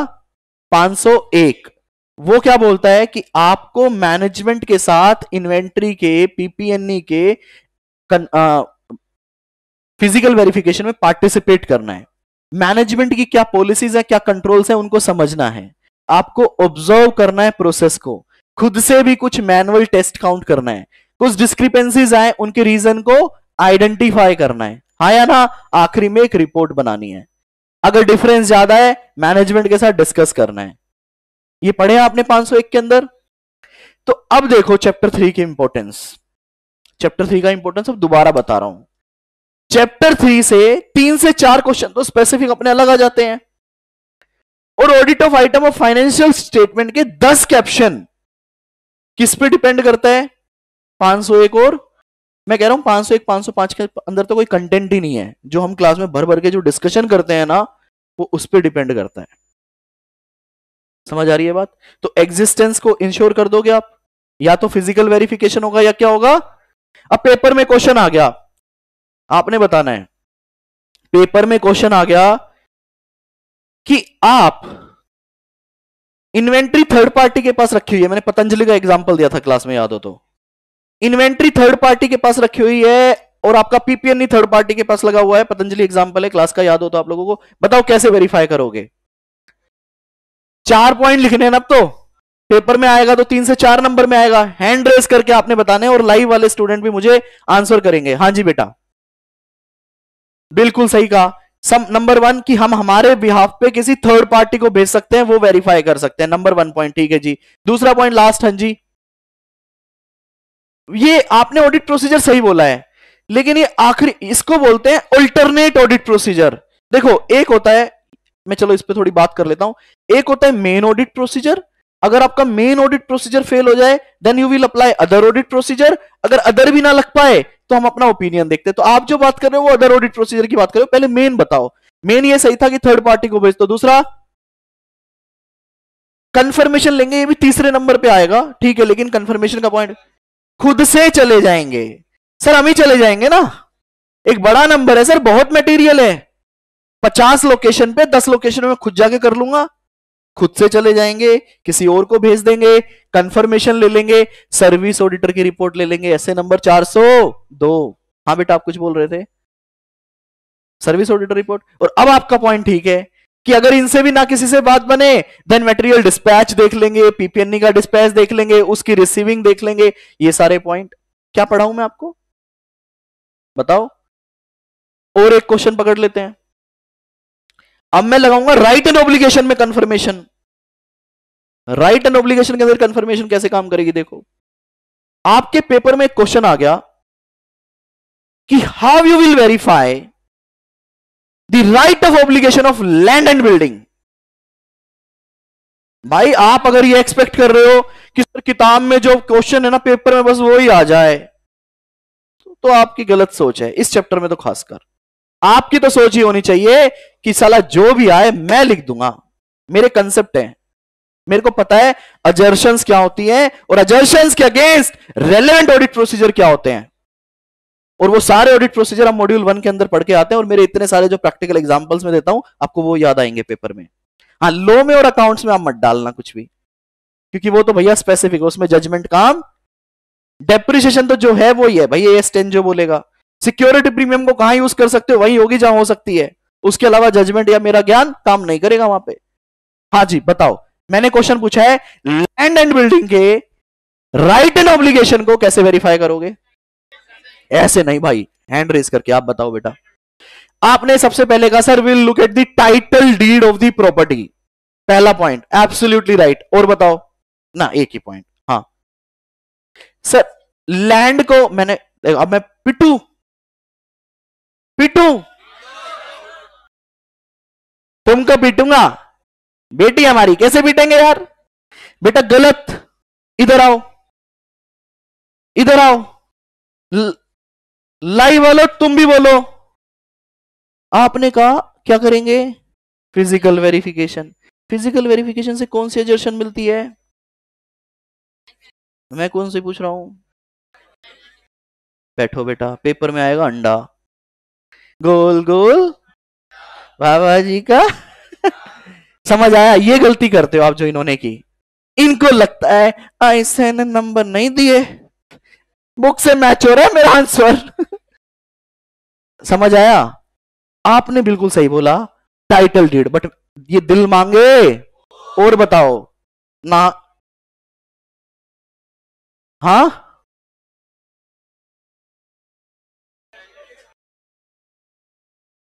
राइट right में ओनरशिप में टाइटल डीड आ गया। ओनरशिप कैसे देखेंगे? यही क्वेश्चन है। हैं? एग्रीमेंट किसका? तो ये बोलो ना agreement for sale from the registrar बिल्कुल एब्सोल्युटली सही पॉइंट है। एग्रीमेंट फॉर सेल भी देख सकते हैं। आगे बताओ। स्टैम्प ड्यूटी पेड है या नहीं है? बहुत अच्छा पॉइंट है। बिल्कुल सही है। हाँ? टैक्स टैक्स भी देख सकते हो कि भाई हमने पे किया है तो हमारे चार पॉइंट क्या बात है। और बताओ। एक ही बात है, आप अब वो टैक्स बोल रहे है म्यूनिसिपल कॉर्पोरेशन बोल रहे हो, एक ही एक ही बात है। हाँ। हाँ। यस ये चाहिए मेरे को। भाई ज़रूरी थोड़ी ना सारी मेरी लैंड एंड बिल्डिंग के टाइटल डीड मेरे पास हो। वो किसी बाहर के पास भी तो हो सकते हैं ना, किसी बैंक के पास मैंने उसको गिरवी रख रखा हो। तो उसके लिए क्या लेंगे? कन्फर यहाँ पे कंफर्मेशन आपको उसका राइट एंड ऑब्लिगेशन भी इंश्योर कर रही है। कि वो आपकी है। आप भैया उसका एग्जिस्टेंस का कंफर्ट ले लो। यहाँ पे एग्जिस्टेंस प्लस राइट दोनों वेरीफाई हो रहा है। तो आपने चार से पाँच पॉइंट लिख दिए। अब लिख दो वहाँ पे, फिर तुम पेल दो। पेपर में आ रहा है राइट एंड ओब्लिगेशन आप डाले जा रहे हो कुछ भी। हाँ बेटा, बताओ। बेटा, बेनामी के ऊपर ही तो डिस्क्लोजर आए हैं। मोदी जी डंडा लेके पीछे पड़े तो हुए हैं। कि पकड़ लिया तो तुम्हारी लंका लगा दूँगा। अभी अभी वही मार्क करवाया है। सबसे पहले डिस्क्लोजर रिक्वायरमेंट में आपने शायद मिस कर दिया। कारो 2020 की रिपोर्टिंग भी है। बेनामी प्रॉपर्टी के अंदर इनहेरेंट लिमिटेशन ज़्यादा है। कोई मिल गई तो डिस्क्लोज करेंगे, नहीं तो जय श्री राम। ठीक है? समझ आया? अब और उठाते हैं। बोरोविंग और लोन्स एंड एडवांस दोनों एक साथ खत्म करवा रहा हूँ। ना, पहले कैश देख लेते हैं। अपन एग्जिस्टेंस पे बात कर रहे हैं ना। अभी आपको फ़िज़िकल एसेट्स की पता चल गई, कैसे फ़िज़िकल वेरिफिकेशन करेंगे 501 में थोड़ा डिटेल अब बात करते हैं बोरोविंग सॉरी कैश का एग्जिस्टेंस क्योंकि इसमें पॉइंट यूनिक है। भाई रोकड़ रखा हुआ है, कैसे वेरीफाई करोगे, बताओ। एग्जिस्टेंस अब कुछ और फालतू की बातें मत करना। हाथ ऊपर करके हाँ बेटा लाइव वालों, तुम भी तो बताओ। रिटर्न रिप्रेजेंटेशन प्रियंका तिवारी कह रही है written representation written representation is sufficient appropriate audit evidence is never a sufficient आप आखिरी पॉइंट में, प्रियंका, मैं तुम्हें गलत नहीं बोल रहा बेटा। May be you are absolutely right क्योंकि आपने ऊपर टाइटल भी लिखा है। Written representation can be your last point can be your क्योंकि written representation is a supporting corroborative audit evidence तो भाई एविडेंस तो है मेन नहीं है सपोर्टिंग तो आखिरी में तो ले ही सकते हैं ना। भैया, एक एविडेंस दो कि आपने सारी टाइटल डीड जितनी बेनामी, आपने बेनामी पे बात की थी ना अभी? कि भाई आपने सारी प्रॉपर्टी को डिस्क्लोज किया हुआ है, सब आपने मेरे को दिखा दी है। एक काम करो, आप मेरे को क्या दो उसके लिए? रिटर्न रिप्रेजेंटेशन बात समझ आ रही है? आपका पॉइंट ठीक है बट आखिरी में होगा। अब बात कर रहे हैं कैश के फ़िज़िकल वेरिफिकेशन की। आपका सबसे मन में आएगा, सर फ़िज़िकल कर लो। आया ना? सर फ़िज़िकल वेरिफिकेशन हाँ जी, बिल्कुल सही पॉइंट है। फ़िज़िकल वेरिफिकेशन बट वो भी कैसे? सरप्राइज़ धप्पा! वो कहेगा, क्या हुआ? बेटा, चल कैश दिखा। ऐसे होता है रियल लाइफ में। बताओ, ऐसे होता है? बता भाई, ऐसे होता होगा? नहीं होता होगा यार। ऐसे कैसे जाके किसी पे भी चढ़ जाओगे नहीं? होता होगा? होता होगा? किस किस को लगता है ऐसे नहीं होता होगा? बेटा, ऐसे ही होता है। ऐसे ही कटता है उस अकाउंटेंट का। हम क्या करते हैं? देखो ईयर एंड पे तो वो भी बड़ा सचेत रहता है। क्योंकि उसको पता है, इकतीस मार्च को एक आएगा, बेताल और ले जाएगा। वो इसलिए सब कुछ बराबर रखता है। इकतीस मार्च को तो हम करते ही करते हैं। इकतीस मार्च के अलावा भी, कभी मैं कंपनी के आगे से गुजर रहा हूँ, आपका लंच करने का मन है, आपने गाड़ी लगाई पार्किंग में, और आपने क्या करना है? कुछ नहीं करना है। आपने जाना है कैशियर पे, बेटा चलो उठ। कौन? ऑडिटर साहब। हाँ जी, क्या करना है? तिजोरी खोल, चल साल। आप बोलोगे सरप्राइज़ चेक है। वो आपको लेके जाएगा। ऑब्वियसली अपने फाइनेंस मैनेजर वगैरह सबको इन्वॉल्व करेगा। आपको पूरा कैश दिखाएगा। आपने कैश को काउंट करना है, देखना है वैलिड करेंसी नोट्स है या नहीं है, क्योंकि डिमोनिटाइजेशन के बाद एक नया पॉइंट आ गया है।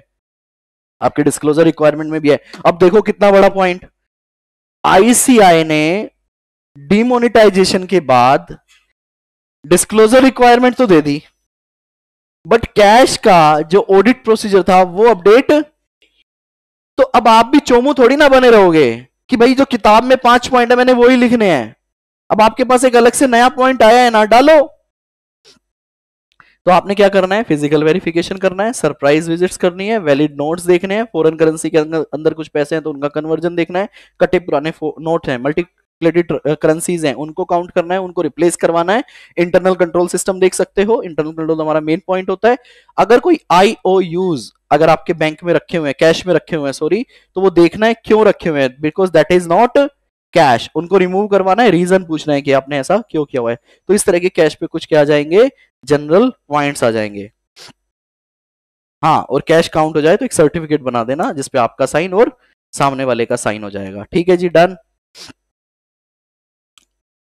फ़िज़िकल वेरिफिकेशन और सरप्राइज़ चेक अलग है। सरप्राइज़ फ़िज़िकल वेरिफिकेशन भाई, एक फ़िज़िकल वेरिफिकेशन होता है जो उनको पता है भाई। वो आएँगे और फ़िज़िकल करेंगे। इकतीस मार्च को। इन्वेंट्री का पीपीएनई का करना पड़ता है। एक होता है सरप्राइजिंगली हम चले गए और हमने जाके फ़िज़िकल वेरिफिकेशन किया। Sir it's Priyank not Priyanka okay Priyank वो कह रहा है सर मेरे को देखो। यार तू, अब तूने एक ए हटा दिया, अब उसमें हमारा क्या दोष है? स्पेलिंग एरर भी हो सकती थी। बहन का नाम प्रियंका बहन का नाम प्रियंका है, मेरा प्रियंका है। सही है बेटा, बहुत बढ़िया। लो जी लो। अब आगे बात हाँ बेटा। नहीं नहीं स्टैट ऑडिटर का काम है बेटा इंटरनल का क्यों है? इंटरनल भी कर सकता है, उसके ही मज़े हैं।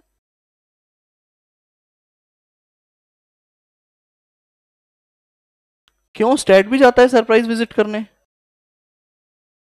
ईयर एंड पे जाता है, लेकिन बीच में भी जा सकते हो। वो डिपेंड करता है कितना कैश है वहाँ पे। अब कैश ही पाँच हज़ार रुपए में क्यों जाऊँगा? मैं एक क्लाइंट कर रहा था जीएसपीएल करोड़ों में कैश होता है वहाँ पे अंगुल के अंदर। मज़ा आता है किस दिन भर के ले आओ। तो वहाँ आप जाओगे दो बार, क्योंकि कैश इतना एक मटेरियल एरिया हो गया। है ना? फिर उसमें बहुत सारी चीज़ें देखनी पड़ती है। इंश्योरेंस देखना पड़ता है कैश का मूवमेंट देखना पड़ता है कैश आपने क्यों रखा है रीजन देखना पड़ता है। मतलब रियल लाइफ में तो बहुत सारे पॉइंट हैं। अब वो किस, अब हमें किताब की बात करनी है, तीन से चार नंबर का क्वेश्चन आएगा, आपने दिमाग अप्लाई करना है, रटने की बजाय। अब बात करते हैं चार से पाँच एरिया का एक साथ। सबसे पहले लोन्स एंड एडवांस बोरोविंग एक में पैसा दे रहे हैं, एक में पैसा ले रहे हैं। बोरोविंग में डिपॉजिट भी बोल सकते हो। सबसे पहले दोनों ही एरिया में इंटरनल कंट्रोल आपको देखना पड़ेगा। मज़े की बात बताऊँ, इन दोनों ही कंसेप्ट का आंसर निकाल सकते हो किसी दूसरे चैप्टर से, बताओ कहाँ। और यहाँ से बेहतरीन आंसर निकल के आएगा विद रेलिवेंट पॉइंट्स बस आपने एंटिटी चेंज कर देनी है। कहाँ से? नहीं, कारों से भी एक आध पॉइंट आप लेके आ सकते हो। बैंक ऑडिट यार। क्योंकि बैंक ऑडिट में तो बात ही दो एरिया पे की गई है। बोरोविंग और एडवांस हा या ना? भाई, अगर आप बोरोविंग करोगे तो भी इंटरनल कंट्रोल देखोगे एडवांस दोगे तो भी इंटरनल कंट्रोल देखोगे प्रॉपर ऑथोराइजेशन है क्या पर्पस क्या है, जिस पर्पस के लिए लिए थे, लिया था, दिया था, उसी के लिए यूटिलाइज हुआ है क्या? अगर दिया हुआ है तो रिकवरी देखनी है विद इंटरेस्ट लिया हुआ है तो पेमेंट देखनी है विद इंटरेस्ट हाँ ना? यस और नो अब बताओ loan and advance balance sheet अब अपने जनरल डिस्कशन किया now will talk about specific assertion हो गई सी वो अब कंप्लीटनेस के तो हमने दुनिया भर के पॉइंट दे दिया आप पिल दोगे सारे। अब एक एक एरिया पे मुझे दो दो पॉइंट बताओ। कंप्लीटनेस लोन्स एंड एडवांस की कैसे वेरीफाई करोगे? हम्म? एग्रीमेंट देखेंगे सर एग्रीमेंट देखो हाँ। बोरोविंग हम किससे करते हैं? जनरली बैंक से लेते हैं तो एग्जिस्टेंस में कंफर्मेशन आ जाएगा, ठीक है? रिकंसिलेशन आ जाएगा हाँ जी। बोर्ड के रेजोल्यूशन भी देख सकते हैं। आपको पता है, आपने कंपनीज़ एक्ट में शायद आप लोगों ने नहीं पढ़ा इंटर पे अदरवाइज़ इनकी लिमिट्स भी है। आप मैक्सिमम कितना लोन वगैरह दे सकते हो और तो वो लिमिट्स के अंदर भी आना चाहिए। कंपनीज़ कंपनीज़ एक्ट के सेक्शन को कॉम्प्लाई करना चाहिए। कहीं ऐसा तो नहीं आपने रिलेटेड पार्टी को लोन दे दिया। हाँ या ना? तो आपने क्या करना है एक एक अजर्शन को लिखना है, उसके अगेंस्ट अपने ऑडिट प्रोसीजर को ड्राफ्ट करना है। ठीक है जी? वैल्यूएशन भी एक बहुत ही बढ़िया एरिया आता है। कौन सा? वैल्यूएशन अब वैल्यूएशन जनरली वो आपसे पूछेगा, जैसे डेप्रिसिएशन एंड अमोर्टाइजेशन आपके पीपीएनई के केस में और इंटेंजिबल के केस में। इन्वेंट्री के केस में आपका एएस टू ठीक है? यहाँ पे सबसे ज़्यादा जो चैलेंजिंग वैल्यूएशन होता है, वो होता है किसका? इन्वेंट्री के डब्ल्यू का। आपने वैल्यू आप एस टू पढ़कर आए हो? ठीक है जी। रॉ मटेरियल कैसे वैल्यू करते हो? एक सेकेंड आराम से। रॉ मेटेरियल कैसे वेरीफाई करते हो? Cost versus NRV whichever is खत्म। ऐसे खत्म नहीं होता। Cost versus NRV whichever is lower किसकी कॉस्ट क्लोजिंग इन्वेंट्री की। इसका मतलब वैल्यूएशन से पहले मुझे एक अजर्शन पे कंफर्ट लेना चाहिए। वो अजर्शन कौन सी है? कंप्लीटनेस दूसरा एग्जिस्टेंस तो पहले हम फ़िज़िकल वेरिफिकेशन करते हैं, पहले कंप्लीटनेस वेरीफाई करते हैं, फिर फ़िज़िकल वेरिफिकेशन करते हैं। क्वांटिटी पे कंफर्ट आ गया क्लोजिंग क्वांटिटी पे। क्लोजिंग क्वांटिटी मैंने अब वर्क पेपर्स नहीं दिखाऊँगा। अदरवाइज़ हम वर्क पेपर के साथ डिस्कस करते हैं इस कंसेप्ट को। हमने क्वांटिटी पॉपुलेट कर ली सारी, भाई क्लोजिंग क्वांटिटी फिजिकली वेरीफाइड है तो क्वांटिटी पे कंफर्ट आ गया। अब क्वांटिटी रॉ मटेरियल की है, इसका मतलब ये तो मैंने बाहर से खरीदी है। तो मेरे पास है ना डेट ऑफ़ परचेज भी आ रही होती है, और परचेज प्राइस भी आ रहा होता है। तो मैंने उसको सिंपली किससे मल्टीप्लाई कर देना है? परचेज प्राइस से कॉस्ट आ गई। अब आता है एनआरवी इसको बोलते हैं NRV test net realisable value अब एक बात बताओ, जो कंपनी रनिंग कंपनी होती है, जिसका डेली माल आ रहा है डेली जा रहा है, उस कंपनी में एनआरवी कम होगी, ज़्यादा होगी? ज़्यादा ही होगी, सर। नुकसान के लिए थोड़ी ना बैठे फ़ायदे के लिए बैठे तो जनरली हम देख लेते हैं, आज के दिन वो चीज़ मार्केट में कितने की मिल रही है। मैंने दो महीने पहले लिया था दस रुपए का। आज के दिन साढ़े दस हो गया। तो मैं मल्टीप्लाई किससे कर दूँगा? जो आज के दिन, हालाँकि इसके लिए हम सबसे बेस्ट क्या करते हैं, आपको बता रहा हूँ ऑडिट पास्ट का कब कर रहे हैं? फ्यूचर में या प्रेजेंट में? हम कहते हैं, भैया, ये माल तो आपका इकतीस मार्च का है ना? रिसेंट परचेज का कोई बिल पकड़ा। वो बिल देता है मुझे, मैं स्कैन करता हूँ, फटाफट से अपने वर्क पेपर में लगाता हूँ, उसमें प्राइस आ रहा है। सीधा प्राइस डाला और एनआरवी निकाल दी। एनआरवी कम मिलेगी, ज़्यादा मिलेगी। तो अब वैल्यूएशन किस पे हो जाएगा? सॉर्टेड तो आपने, अगर आपसे पूछ लिया जाए पेपर में कि इन्वेंट्री आया, उसके रॉ मटेरियल का वैल्यूएशन आप ढूंढते रहो क्या पॉइंट था। आपने थोड़ा विजुलाइज करना पड़ेगा, उसकी वैल्यूएशन में क्या क्या कंपोनेंट्स आ रहे हैं। एक कंपोनेंट आ रहा है क्वांटिटी तो उसको वेरीफाई करो। एक कंपोनेंट आ रहा है परचेज प्राइस का कॉस्ट उसको इनवॉइस से वेरीफाई करो। एक आ रहा है एनआरवी उसको रिसेंट परचेज इनवॉइस से वेरीफाई करो। ठीक है? अब बात आती है फिनिश गुड्स ये भी इजी है वेरीफाई करना। फिनिश गुड्स मतलब उसमें रॉ मटेरियल लग चुका लेबर लग चुका ओवरहेड लग चुका। आपने कंपनी से उसकी कोस्ट शीट लेनी है अप्रूव्ड कोस्ट शीट डायरेक्टर से अप्रूव्ड और कोस्ट uh, uh, मेरा मैन्युफैक्चरिंग डिपार्टमेंट जो प्रोडक्शन डिपार्टमेंट होता है उससे अप्रूव्ड उस कोस्ट शीट में पूरा आता है कि एक यूनिट को बनाने के लिए इतना मटेरियल लगेगा इतनी लेबर लगेगी और इतने ओवरहेड लगेंगे। आपके पास जो टोटल फिनिश गुड्स बना हुआ रखा है कोस्ट शीट आपने वेरीफाई कर ली, वहाँ से आपके पास मटेरियल का क्वांटम आ गया लेबर और मटेरियल आ गया। आपने बस उसको मल्टीप्लाई कर देना है, जो भी कॉस्ट उन्होंने निकाल के दी हुई है, उसके हिसाब से आपकी कॉस्ट आ जाएगी। एनआरवी कितने का मैं रिसेंट में बेच रहा हूँ, आप वैल्यू कर दोगे। एग्जिस्टेंस हमने फ़िज़िकल वेरिफिकेशन लगा के कर ही रखा है। चैलेंज आता है किसमें? WIP में। WIP में चैलेंज इसलिए आता है कि हो सकता है रॉ मटेरियल पूरा लगा हो या, हो सकता है लेबर पूरी लगी हो या ओवरहेड आपने कोशीट या कोई एक ऐसा चैप्टर पढ़ भी रखा होगा शायद, वहाँ पे शायद इस तरह की थोड़ी नॉलेज भी दी जाती है। तो यहाँ पे ऑडिटर का एक काम बढ़ जाता है। भाई मैं किस कंपनी का ऑडिट कर रहा हूँ? हो सकता है वहाँ का एरिया ऐसा है कि मैं आइडेंटिफाई कर पाऊँ कि कितने परसेंट कंप्लीट हुआ है तो उतने परसेंट ही मैं कॉस्टिंग ले लूँगा। एक ऐसा भी कंपनी हो सकता है जहाँ पे मैं ये ना जज कर पाऊँ कि कितने परसेंट कंप्लीट हुआ है। तो ऐसे केस में आप किसकी हेल्प लेना पसंद करोगे? एक्सपर्ट ओपिनियन नहीं एक्सपर्ट एक्सपर्ट की हेल्प लेना चाहोगे, उससे काम करवाओगे तो आपने एक पॉइंट एक्स्ट्रा डालना है किसका? एक्सपर्ट का। एक पॉइंट एक्स्ट्रा डालना है आपने इंजीनियर्स आपने कोस्टिंग में पढ़ा होगा इंजीनियर्स अप्रूव करते हैं कंपनी के, या डिपार्टमेंट अप्रूव करता है कि हमारा कितना काम कंप्लीट हुआ है, उनका रिपोर्ट कोस्ट शीट को वेरीफाई करना है एलोकेशन ऑफ़ एक्सपेंसेस किस बेस पे हुई है, वो सब वेरीफाई करना है, फिर एनआरवी टेस्ट से करना है तो मतलब सारे पॉइंट कॉमन रहेंगे, चार पॉइंट एडिशनल आपके आ जाएँगे। समझ आया? अब हम डिस्कस करते हैं नेक्स्ट प्रेजेंटेशन एंड डिस्क्लोजर बड़ा ही सिंपल है। आपको एफ़ आर एफ़ फाइनेंशियल देखने as per F R F recorded है या नहीं? राइट एंड ओब्लिगेशन के अंदर देखो, यहाँ लिखा हुआ है क्या क्या देख सकते हो आप? Check completeness before testing right and obligation जो मैंने अभी बताया था आपको, जैसे वैल्यूएशन से पहले भी आप दो चीज़ें देख लेना कंप्लीटनेस और एग्जिस्टेंस क्योंकि वो एक कॉम्पोनेंट है। बैलेंस शीट डेट पे सारी डीड्स देख सकते हो। अगर किसी बैंक वगैरह में गया हुआ है पेपर्स वगैरह तो उसका कंफर्मेशन ले, ले सकते हो। चार्ज वगैरह क्रिएट किया हुआ है तो रजिस्टर ऑफ़ चार्ज कंपनी में होता है कि कौन कौन सी एसेट पे हमने लोन्स लिए हुए हैं वो भी आप देख सकते हो। तो ये सारी अजर्शन के अगेंस्ट मैंने आपको कुछ ऑडिट प्रोसीजर दे दिए हैं। लेकिन फिर भी मैं ये ज़रूर बोलना चाहूँगा कि इसके अलावा आपका दिमाग काम करना चाहिए। अब मैं कुछ छोटे छोटे एरिया उठा रहा हूँ।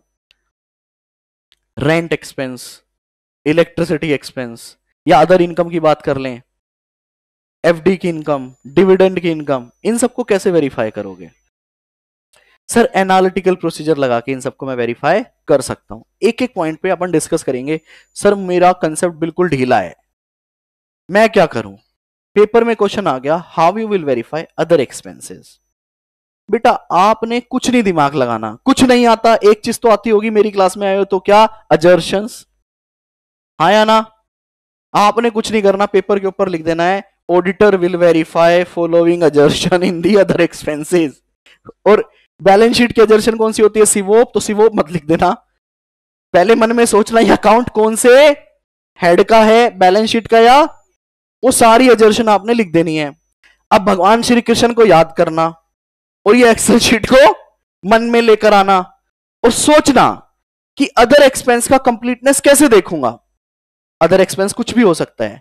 तो आप दो चार एग्ज़ाम्पल उठा लेना कि in other expenses expenses can be covered like rent और repair and maintenance staff welfare expense हाँ हेल्थ केयर अलग अलग तो ये आपने एक एग्ज़ाम्पल की लाइन डाल दी।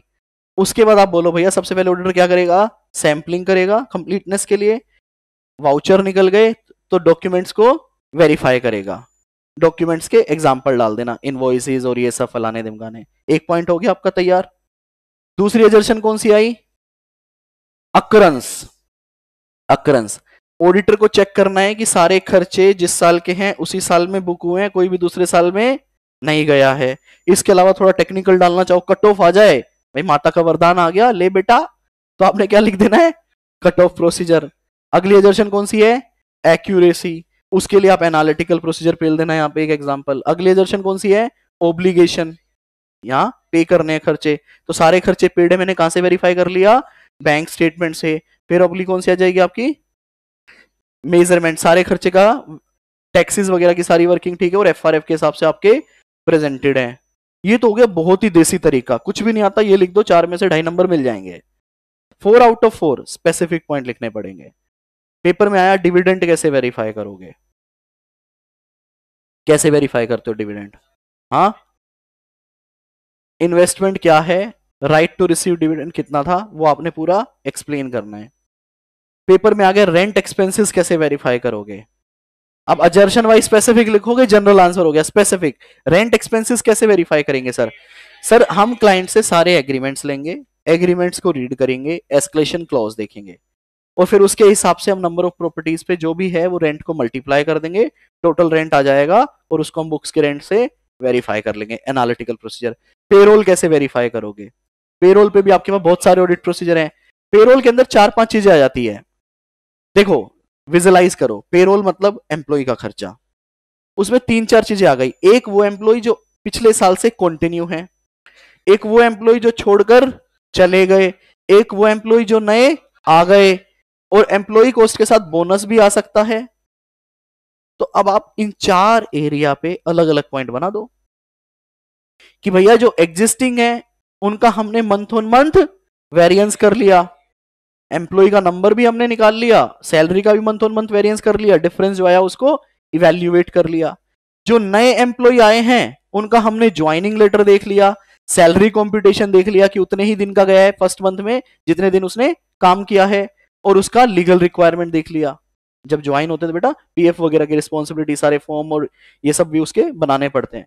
कोई रिजाइन करके जा रहा है तो उसका रेजिग्नेशन लेटर ठीक है, एक उसका फाइनल एफ़ एन एफ़ बनता है फुल एंड फाइनल सेटलमेंट उसकी वर्किंग उसका लास्ट जो भी सैलरी था वो उतना ही गया है अप्रूवल्स आपने देख लिए।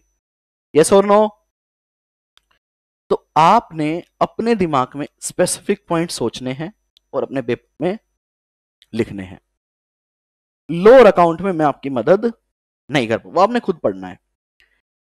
सर ये तो हो गया डिस्कशन जो मैंने आपको दिया।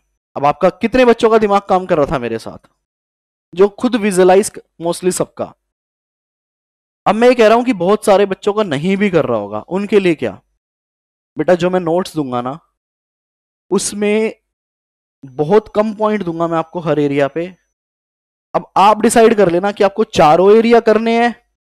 चारों कौन कौन से? अक्का। जजमेंट कहाँ पे है? सिर्फ़ ऑडिट में।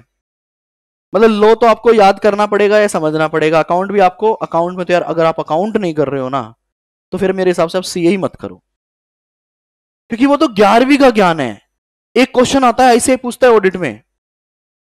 पता है क्या? है? कौन सा? रेवेन्यू एंड प्रोविज़न नहीं बेटा। तुम थोड़ा खेल गए बस।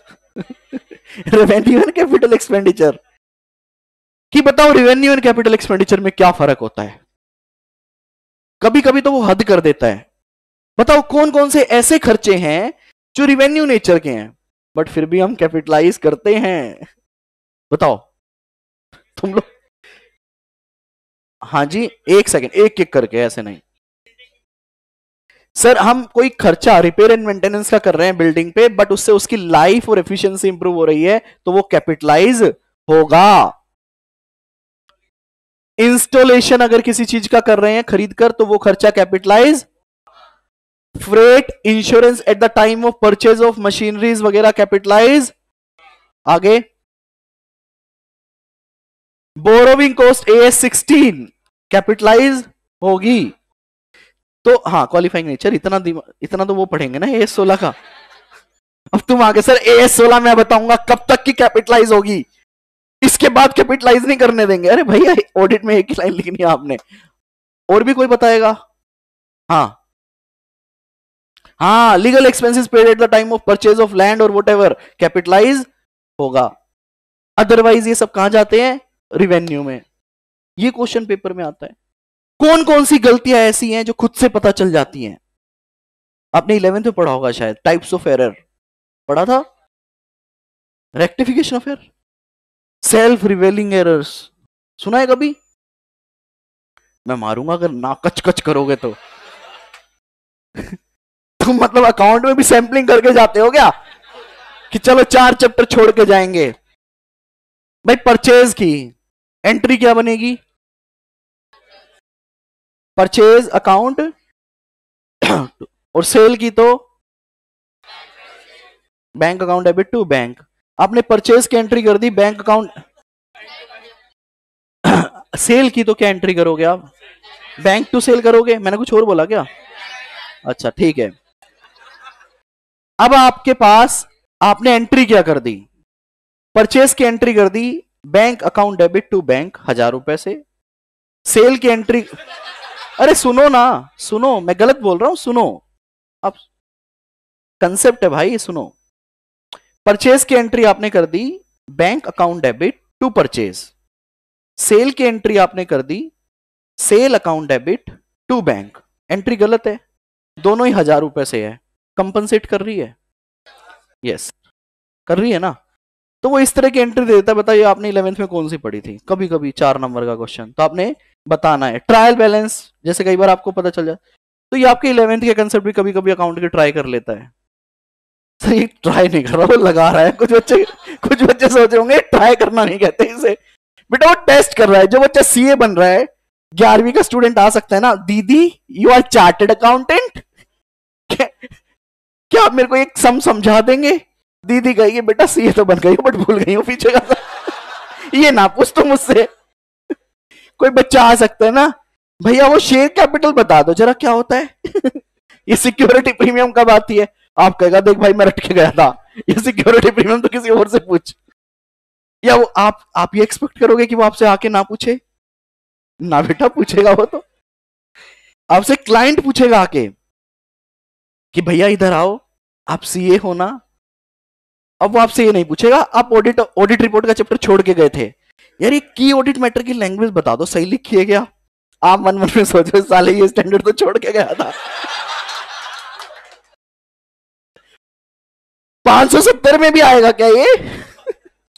आप कहोगे, मैं डिग्री वापस भिजवा रहा हूँ ऐसे तो ये आपके साथ होने वाला है। पढ़ के जाएँगे? बेटा क्लाइंट पढ़वा लेगा। हम क्लाइंट के कपड़े उतारते हैं। कई बार ऑडिटर के भी उतरते हैं। ध्यान रखना वो बिल्कुल बालक बन के आएगा। कपिल सर, ये जरा कंटीजियंट लाइबिलिटी बताना कैसे कैलकुलेट करनी है इसमें? ये इंपेयरमेंट की वर्किंग देखना साले इंपेयरमेंट सर, ये डेफर्ड टैक्सेशन देख लो, जरा हमारा एक बार सही है क्या? आपने ऑडिट करना है ना, मैं भाई हेल्प तो ले सकता है ना वो? फाइनेंशियल कौन बनाएगा? अब मैनेजमेंट का सीएफओ आ गया। आप मान लो आर्टिकल असिस्टेंट हो। बेटा इधर आओ। इधर आओ, जल्दी। इनको ऑडिट करने के लिए दे दिया पीपीएनई ठीक है? पीपीएनई में डेप्रिसिएशन भी देख रही है और इंपेयरमेंट भी देख रही है। सीएफओ ऑफ़ कंफ्यूज है पीपीएनई के इंपेयरमेंट में। इनके पास आ गया बेटा नाम क्या है? निकिता।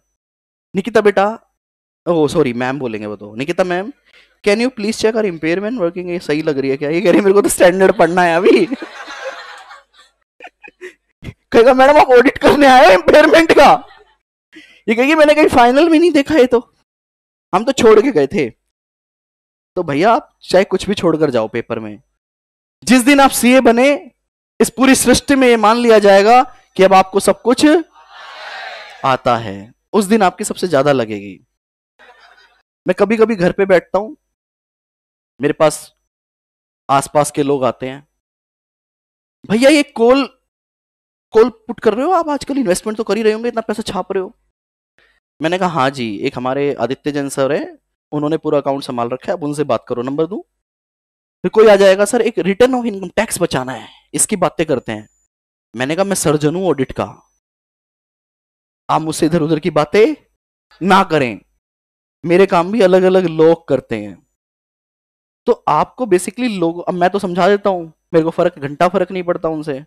लेकिन क्लाइंट जब आपसे पूछेगा, आप नहीं बोल सकते उनको कि मैं इनकम टैक्स नहीं देखूँगा। टैक्स की टीम अलग है हमारी। आपको सब कुछ आना चाहिए। तो मैं आपको नोट्स दूँगा इस चैप्टर के। अगर आप बिल्कुल पैदल हो दिमाग से तो हो सकता है ना बेटा? अभी तक तो आपने बता दिया सब कुछ बट दो दिन बाद हो सकता है आपका दिमाग खाए भाई, मैं तो पैदल हूँ। मुझे नहीं पता यह जशन क्या होती है। तो तो फिर आपने वो नोट्स रेफर करने हैं। दस बारह पेज के नोट्स होंगे, आपके एग्ज़ाम के सारे क्वेश्चन हो जाएँगे। ठीक है? एक बार इसको देख लो बस फटाफट से। क्योंकि अगर कुछ इंपॉर्टेंट है तो वो डिस्कस कर लेंगे। पूरा चैप्टर गो थ्रू कर रहे हैं। शेयर कैपिटल देख लोगे, क्योंकि आपका ये लो है। इंपॉर्टेंट क्वेश्चन मार्क नहीं करवा रहा, क्योंकि मैंने पहले करवा रखे हैं सारे। सर इंपॉर्टेंट क्वेश्चन भी मार्क करवा दो। कितने बच्चों के दिल में आता है ऐसा? एक सीरीज़ आएगी पूरी यूट्यूब पे, जिसमें मैं चैप्टर वाइज सारे इंपॉर्टेंट क्वेश्चन की आपको लिस्ट देने वाला हूँ। ठीक है? नेक्स्ट मंथ आएगी शायद। पूरी प्लान है वो फाइनल की भी और इंटर की भी। Sweat equity share reduction of capital disclosure आप छोड़ते हुए चलना। रिज़र्व एंड प्रोविज़न पता है क्या होता है? रिज़र्व एंड प्रोविज़न रिज़र्व क्या होता है? एक सेकेंड हैंड रेस करके। रिज़र्व क्या होता है? हाँ। हमेशा करते हो मैंडेटरी है। प्रॉफिट है तो कर लेंगे, नहीं है तो और प्रोविज़न क्या होता है? Charge to profit mandatory optional है। मैंडेटरी है। प्रॉफिट नहीं है तो भी। कैसे करोगे फिर? चलो, एक मज़े लेते हैं तुम्हारे थोड़े से। हाँ जी। प्रोविज़न बनाएँगे? पहले कितने बच्चों को पता है प्रोविज़न क्या होता है? कितने बच्चों को पता है प्रोविज़न क्या होता है?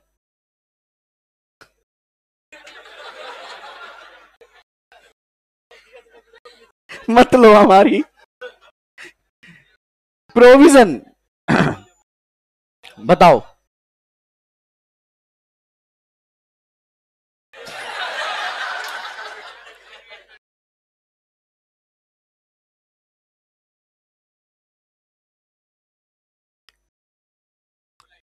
सर्टेन सर्टेनिटी है आपके पास कि एक लाइबिलिटी है, वो हंड्रेड परसेंट आएगी but we are not sure about the amount that's why we are create creating a provision provision आपको हंड्रेड परसेंट बनाना ही है। हा ना? फिर एक होती है कंटीजेंट लाइबिलिटी ये क्या होती है? विच मे और मे नॉट अकर प्रोविज़न में तो यह है कि ये आएगा ही। जैसे प्रोविज़न फॉर डाउटफुल डेट्स कि भैया मेरे डेटर हैं। चार साल पुराने हो गए, पाँच साल पुराने हो गए, सामने वाले बंदे की नियत पैसे देने की प्रोविज़न बना लेते हैं। एक example provision for tax provision for slow and non moving inventories भाई इन्वेंट्री मेरी ऑप्सलीट हो गई है, क्या बना लो? अरे हाँ इन्वेंट्री का एक पॉइंट और आ गया ये अब प्रोविज़न से निकल के। जो इन्वेंट्री का वैल्यूएशन करते हैं तो जो फिनिश फिनिश गुड्स की इन्वेंट्री है, या कोई भी इन्वेंट्री है रॉ मटेरियल की, जब अपन एग्जिस्टेंस चेक करेंगे ना तो हमें यह भी देखना पड़ेगा कौन कौन सी इन्वेंट्री क्या है मेरी? ऑप्सलीट है। ऑप्सलीट को वहाँ से रिमूव करेंगे, उसके वैल्यूएशन में फिर स्क्रैप की वैल्यूएशन करेंगे उसकी। तो एक प्रोविज़न वाला पॉइंट वहाँ भी चला जाएगा यहाँ से। प्रोविज़न बेसिकली एक चार्ज है आपके प्रॉफिट पे। जितनी भी हमारी लाइबिलिटीज हैं, जो हमें पे करनी ही करनी है। या कोई भी ऐसा पैसा जो आना है और जो नहीं आ रहा है we create a provision for this क्या आप हर खर्चे का प्रोविज़न बनाते हो? यस मोस्टली सभी खर्चे का हम प्रोविज़न बनाते हैं। कैसे? मान लो मैं लीगल सर्विस ले रहा हूँ। ठीक है? अब इसका ऑडिट भी बता देता हूँ। पहले अकाउंट का डिस्कशन कर लेते हैं, फिर ऑडिट दिमाग चलाते हैं थोड़ा सा आपका। आप मान लो एक रिटर्नरशिप बेसिस पे सर्विसेज़ लेते हो। हर महीने एक पार्टी का बिल आता है, आप पे कर देते हो। रेंट का बिल आता है, आप पे कर देते हो। इलेक्ट्रिसिटी का बिल आता है, आप पे कर देते हो। बहुत सारे बिल आते हैं, आप पे कर देते हो। 31 मार्च को जो बिल आएँगे, वो कब आएँगे? अप्रैल में या मई में? हो सकता है ना, मई तक बिल आए। अब 31 मार्च को मैं लाइबिलिटी कैसे बुक करूँ? जबकि बुक तो करनी, कैसे बुक करोगे? प्रोविज़न बन गए ना सारे खर्चों के प्रोविज़न आया ना। अब आपका क्वेश्चन आता है, सर ऑडिट कैसे करें प्रोविज़न का? भैया, हर प्रोविज़न के लिए क्लाइंट के पास एक वर्किंग होगी। कि भैया इलेक्ट्रिसिटी का प्रोविज़न जो मैंने बनाया है, अपने इस पास्ट के बेस पे बनाया है। रेंट का प्रोविज़न देखो, इन एग्रीमेंट के बेस पे बनाए कंसल्टिंग जो मैं ले रहा हूँ, उनके इन तो आपको प्रोविज़न में वो बेस डेटा क्लाइंट की पूरी वर्किंग को क्या करना है? चेक करना है और देखना है कि वो सारी सही है या नहीं है, ठीक है? तो ये आपका meaning of provision and reserve हो गया डिफरेंस ये पेपर में पूछ सकता है आपसे रिवेन्यू और कैपिटल रिज़र्व की हमने बात की थी। बोरोविंग अब बोरोविंग के अंदर चार पाँच पॉइंट आपको अपने हिसाब से सोचने और लगाने। इसके अपोजिट क्या हो जाएगा? Loans and advance debtor debtor का रिलेशन किससे होता है? किससे होता है? सेल से। तो आपने देखना है कि ओनली बोनाफाइड सेल हो। डेटर का कंप्लीटनेस आप सेल की कंप्लीटनेस से वेरीफाई करोगे। डेटर से देखोगे कि सारा पैसा आ गया, जो नहीं आया उसके लिए क्या लोगे? कंफर्मेशन तो आपने इस तरह से पॉइंट लिखने। डायरेक्ट कन्फर्म ऐसे 505 का पॉइंट लग जाएगा। कैश पे हमने कैश बैलेंस की बात कर ली, बैंक में क्या लग जाएगा? कंफर्मेशन इन्वेंट्री की हम ऐसे 501 में बात कर लेते हैं पूरी। Good sent on consignment basis ये कंसेप्ट पता है आप लोगों को? इसमें क्या होता है, हम भैया एक, हम मेन कंपनी है, हमने अलग अलग शहर में हमारे एजेंट बना रखे हैं, हम माल उनको भेज देते हैं। फिर वो आगे बेचते हैं माल। तो अगर मान लो मैंने कोई माल भेजा अपने कंसाइनर के पास तो उसको मैं अपनी इन्वेंट्री से रिमूव कर दूँ? वो मेरी ही इन्वेंट्री में रहेगा जब तक वहाँ पे नहीं बिकेगा। तो कंसाइनर के अंदर आपको ये देखना है कि आपकी इन्वेंट्री में कंसाइनर वाला माल भी आ रहा है। क्या उसको विद मार्कअप रखू या कोस्ट पे रखू? तो आपने ये भी इंश्योर करना है कि अगर आपने विद मार्कअप लगा के भेजा हुआ है तो आप उसको रिमूव करो और कोस्ट पे करो। अब यहाँ पे पॉइंट आ गया ऑडिटर का। सिंस ये इन्वेंट्री किसके पास है अब? तो वो क्या करेगा? कंफर्मेशन या तो फ़िज़िकल वेरिफिकेशन टेंजिबल वही अपना फिक्स एसेट्स पीपीएन नहीं आ गया, इस पे आपका क्वेश्चन अजर्शन पे पूछ सकता है। इंटेंजिबल आपके सारे अकाउंट के क्वेश्चन है, जैसे कि goodwill patent copyright A S twenty six लगता है ना इस पे? तो उसको प्लीज़ पढ़कर जाइएगा। ये डेटर का अपोजिट हो गया, क्या क्रेडिटर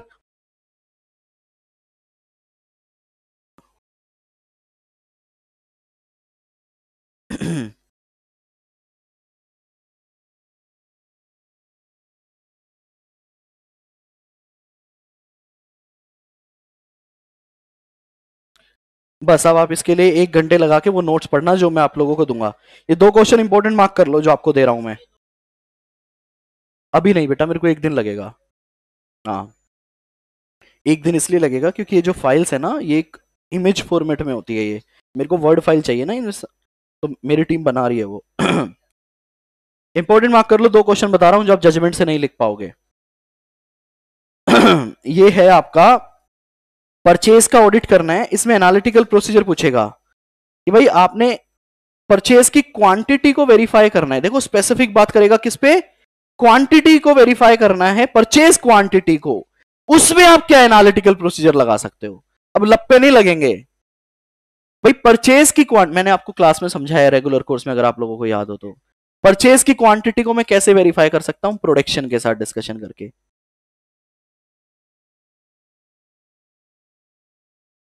हाँ उस टाइम पे लेना। ठीक है। अभी करते हैं डिस्कस ब्रेक होगा अभी आधे घंटे में ना। ठीक है? कंजम्पशन एनालिसिस कर सकते हो आप। प्रोडक्शन कितना हुआ है, उसके अगेंस्ट कितना माल लगना था। एक यूनिट को बनाने में कितनी चीज़ें लगती है? कोशीट वहाँ से निकाल सकते हो। रेशियोज कर सकते हो क्वांटिटिव रिकनसिलेशन बना सकते हो। एक ये। एक special precaution in verification of purchase invoice basically TOD जब आप टीओडी कर रहे हो तो आप क्या देख रहे हो? भाई अगर एडजस्टमेंट करना है किसी इनवॉइस का वो हो गया है। इनवॉइसेस की जनरली ट्रिप्लीकेट कॉपीज बनती है डुप्लीकेट कॉपीज तो वो देखना है कि अगर डुप्लीकेट कॉपी के अगेंस्ट मैंने पैसा पे किया है तो ओरिजिनल कॉपी भी मैंने मार्क कर दी हो पेड अगर कोई स्पेशल कंडीशन है तो उनको मैंने देख लिया हो। पेमेंट का टाइमिंग देखना है कि अगर मेरे को क्रेडिट डेज़ मिले हैं नाइनटी डेज़ के तो मैंने वो क्रेडिट डेज़ यूटिलाइज किए अगर मैंने जल्दी किया है तो आपने देखना है कि आपको डिस्काउंट वगैरह मिला या कैश डिस्काउंट के नाम से जानते हो आपने कुछ पॉइंट आपको स्पेसिफिक करके जाने हैं, मैंने इनको इंपॉर्टेंट मार्क करवाया दो क्वेश्चन को, ठीक है? बाकी आप वहाँ से देखना। ठीक है जी। आगे चलते हैं। मज़ा आया?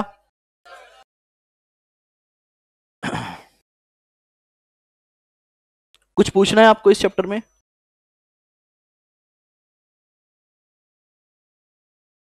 बेटा जर्शन वाइज लिखना है। पेपर में आएगा पेपर में वेल हालाँकि जनरल क्वेश्चन आएगा ही नहीं। पेपर में आएगा, एक अजर्शन पूछेगा और आपसे सीधा पूछेगा, इसको कैसे वेरीफाई करोगे? तो आपने पाँच पॉइंट लिखने हैं सिंपल बेटा वो पूछेगा ही एक हेडिंग पे आपसे क्वेश्चन मतलब मैं ये बोल रहा हूँ, एक एक स्टूडेंट का क्वेश्चन है सर पेपर में कैसे लिखना है? भाई सुन लो, कैसे लिखना है। हेलो ध्यान से सुनो बेटा। पेपर में कैसे लिखना है? आपका भी दिमाग में क्वेश्चन आएगा। कितनी कैटेगरी के क्वेश्चन है? पहली लो बेस प्रोविज़न लिखा हुआ है। पेपर में आ गया शेयर कैपिटल के प्रीमियम को कहाँ यूटिलाइज करोगे? पाँच से छह पॉइंट है। सिंपल अपना लाइन में लिख देना। छह पॉइंट अपने को लो की तरह नहीं लिखना। Provision fact of the case conclusion ना। Security premium can be utilise for the following purpose one two three four five six time save करो, चार मिनट में आंसर खत्म. क्या आप शेयर्स को डिस्काउंट पे इशू कर सकते हो? According to section this shares can not be received on the discount अगर करोगे तो ये पेनल्टी लगेगी और ये सारा काम होगा. काम खत्म. तीन तीन लाइन में आपके आंसर खत्म. आपका क्वेश्चन आ गया following expenses are the nature of revenue expenditure, but can also be, give us some example. Here are the following example for the एक हेडिंग बनाई point number one two three four matter sorted account के question का answer simple pointer में जाएगा लो का question pointer में जाएगा. Disclosure requirement जैसी किताब में है, वैसी लिख दी तो पूरे लप्पे मारे तो सामने वाले के दिल के ऊपर है, वो चार में से एक दे, डेढ़ दे, दो दे, ज़ीरो दे, वो उसकी मर्ज़ी है. तो उसमें कोई जजमेंट नहीं है. अब बात आती है ऑडिट बेस्ड क्वेश्चन की. जो कि एक या दो क्वेश्चन आ सकते हैं आपके पेपर में। मैं कह रहा हूँ 99 परसेंट आपके पेपर में जनरल क्वेश्चन नहीं आना चाहिए कि how you will verify fix assets how you will verify inventory how you will verify debtor बहुत ही सिंपल क्वेश्चन हो गया यार। इसमें तो फिर आप रिस्क असेसमेंट की भी बात कर दो इंटरनल कंट्रोल की भी कर दो सब्सटेंटिव में दुनिया भर के जर्शन है, सब पे एक लिख दो। हर कोई लिख देगा। क्वेश्चन आएगा how you will verify completeness of debtor how you will verify existence of inventory how you will verify valuation of inventory how you will verify right on obligation of capital assets मतलब main assertion यही होती है तो इन्हीं पे ही आएगा question वो ये नहीं पूछेगा how will verify presentation and disclosure आप लिख दोगे मैच कर लो फाइनेंशियल से भाई जहाँ पे एक ही पॉइंट बन रहा है वो थोड़ी ना पेपर में आएगा पेपर में ऐसी चीज़ आएगी जहाँ चार पॉइंट बन सकते हैं तो आपने क्या करना है we will verify completeness of PPNE by applying the following audit.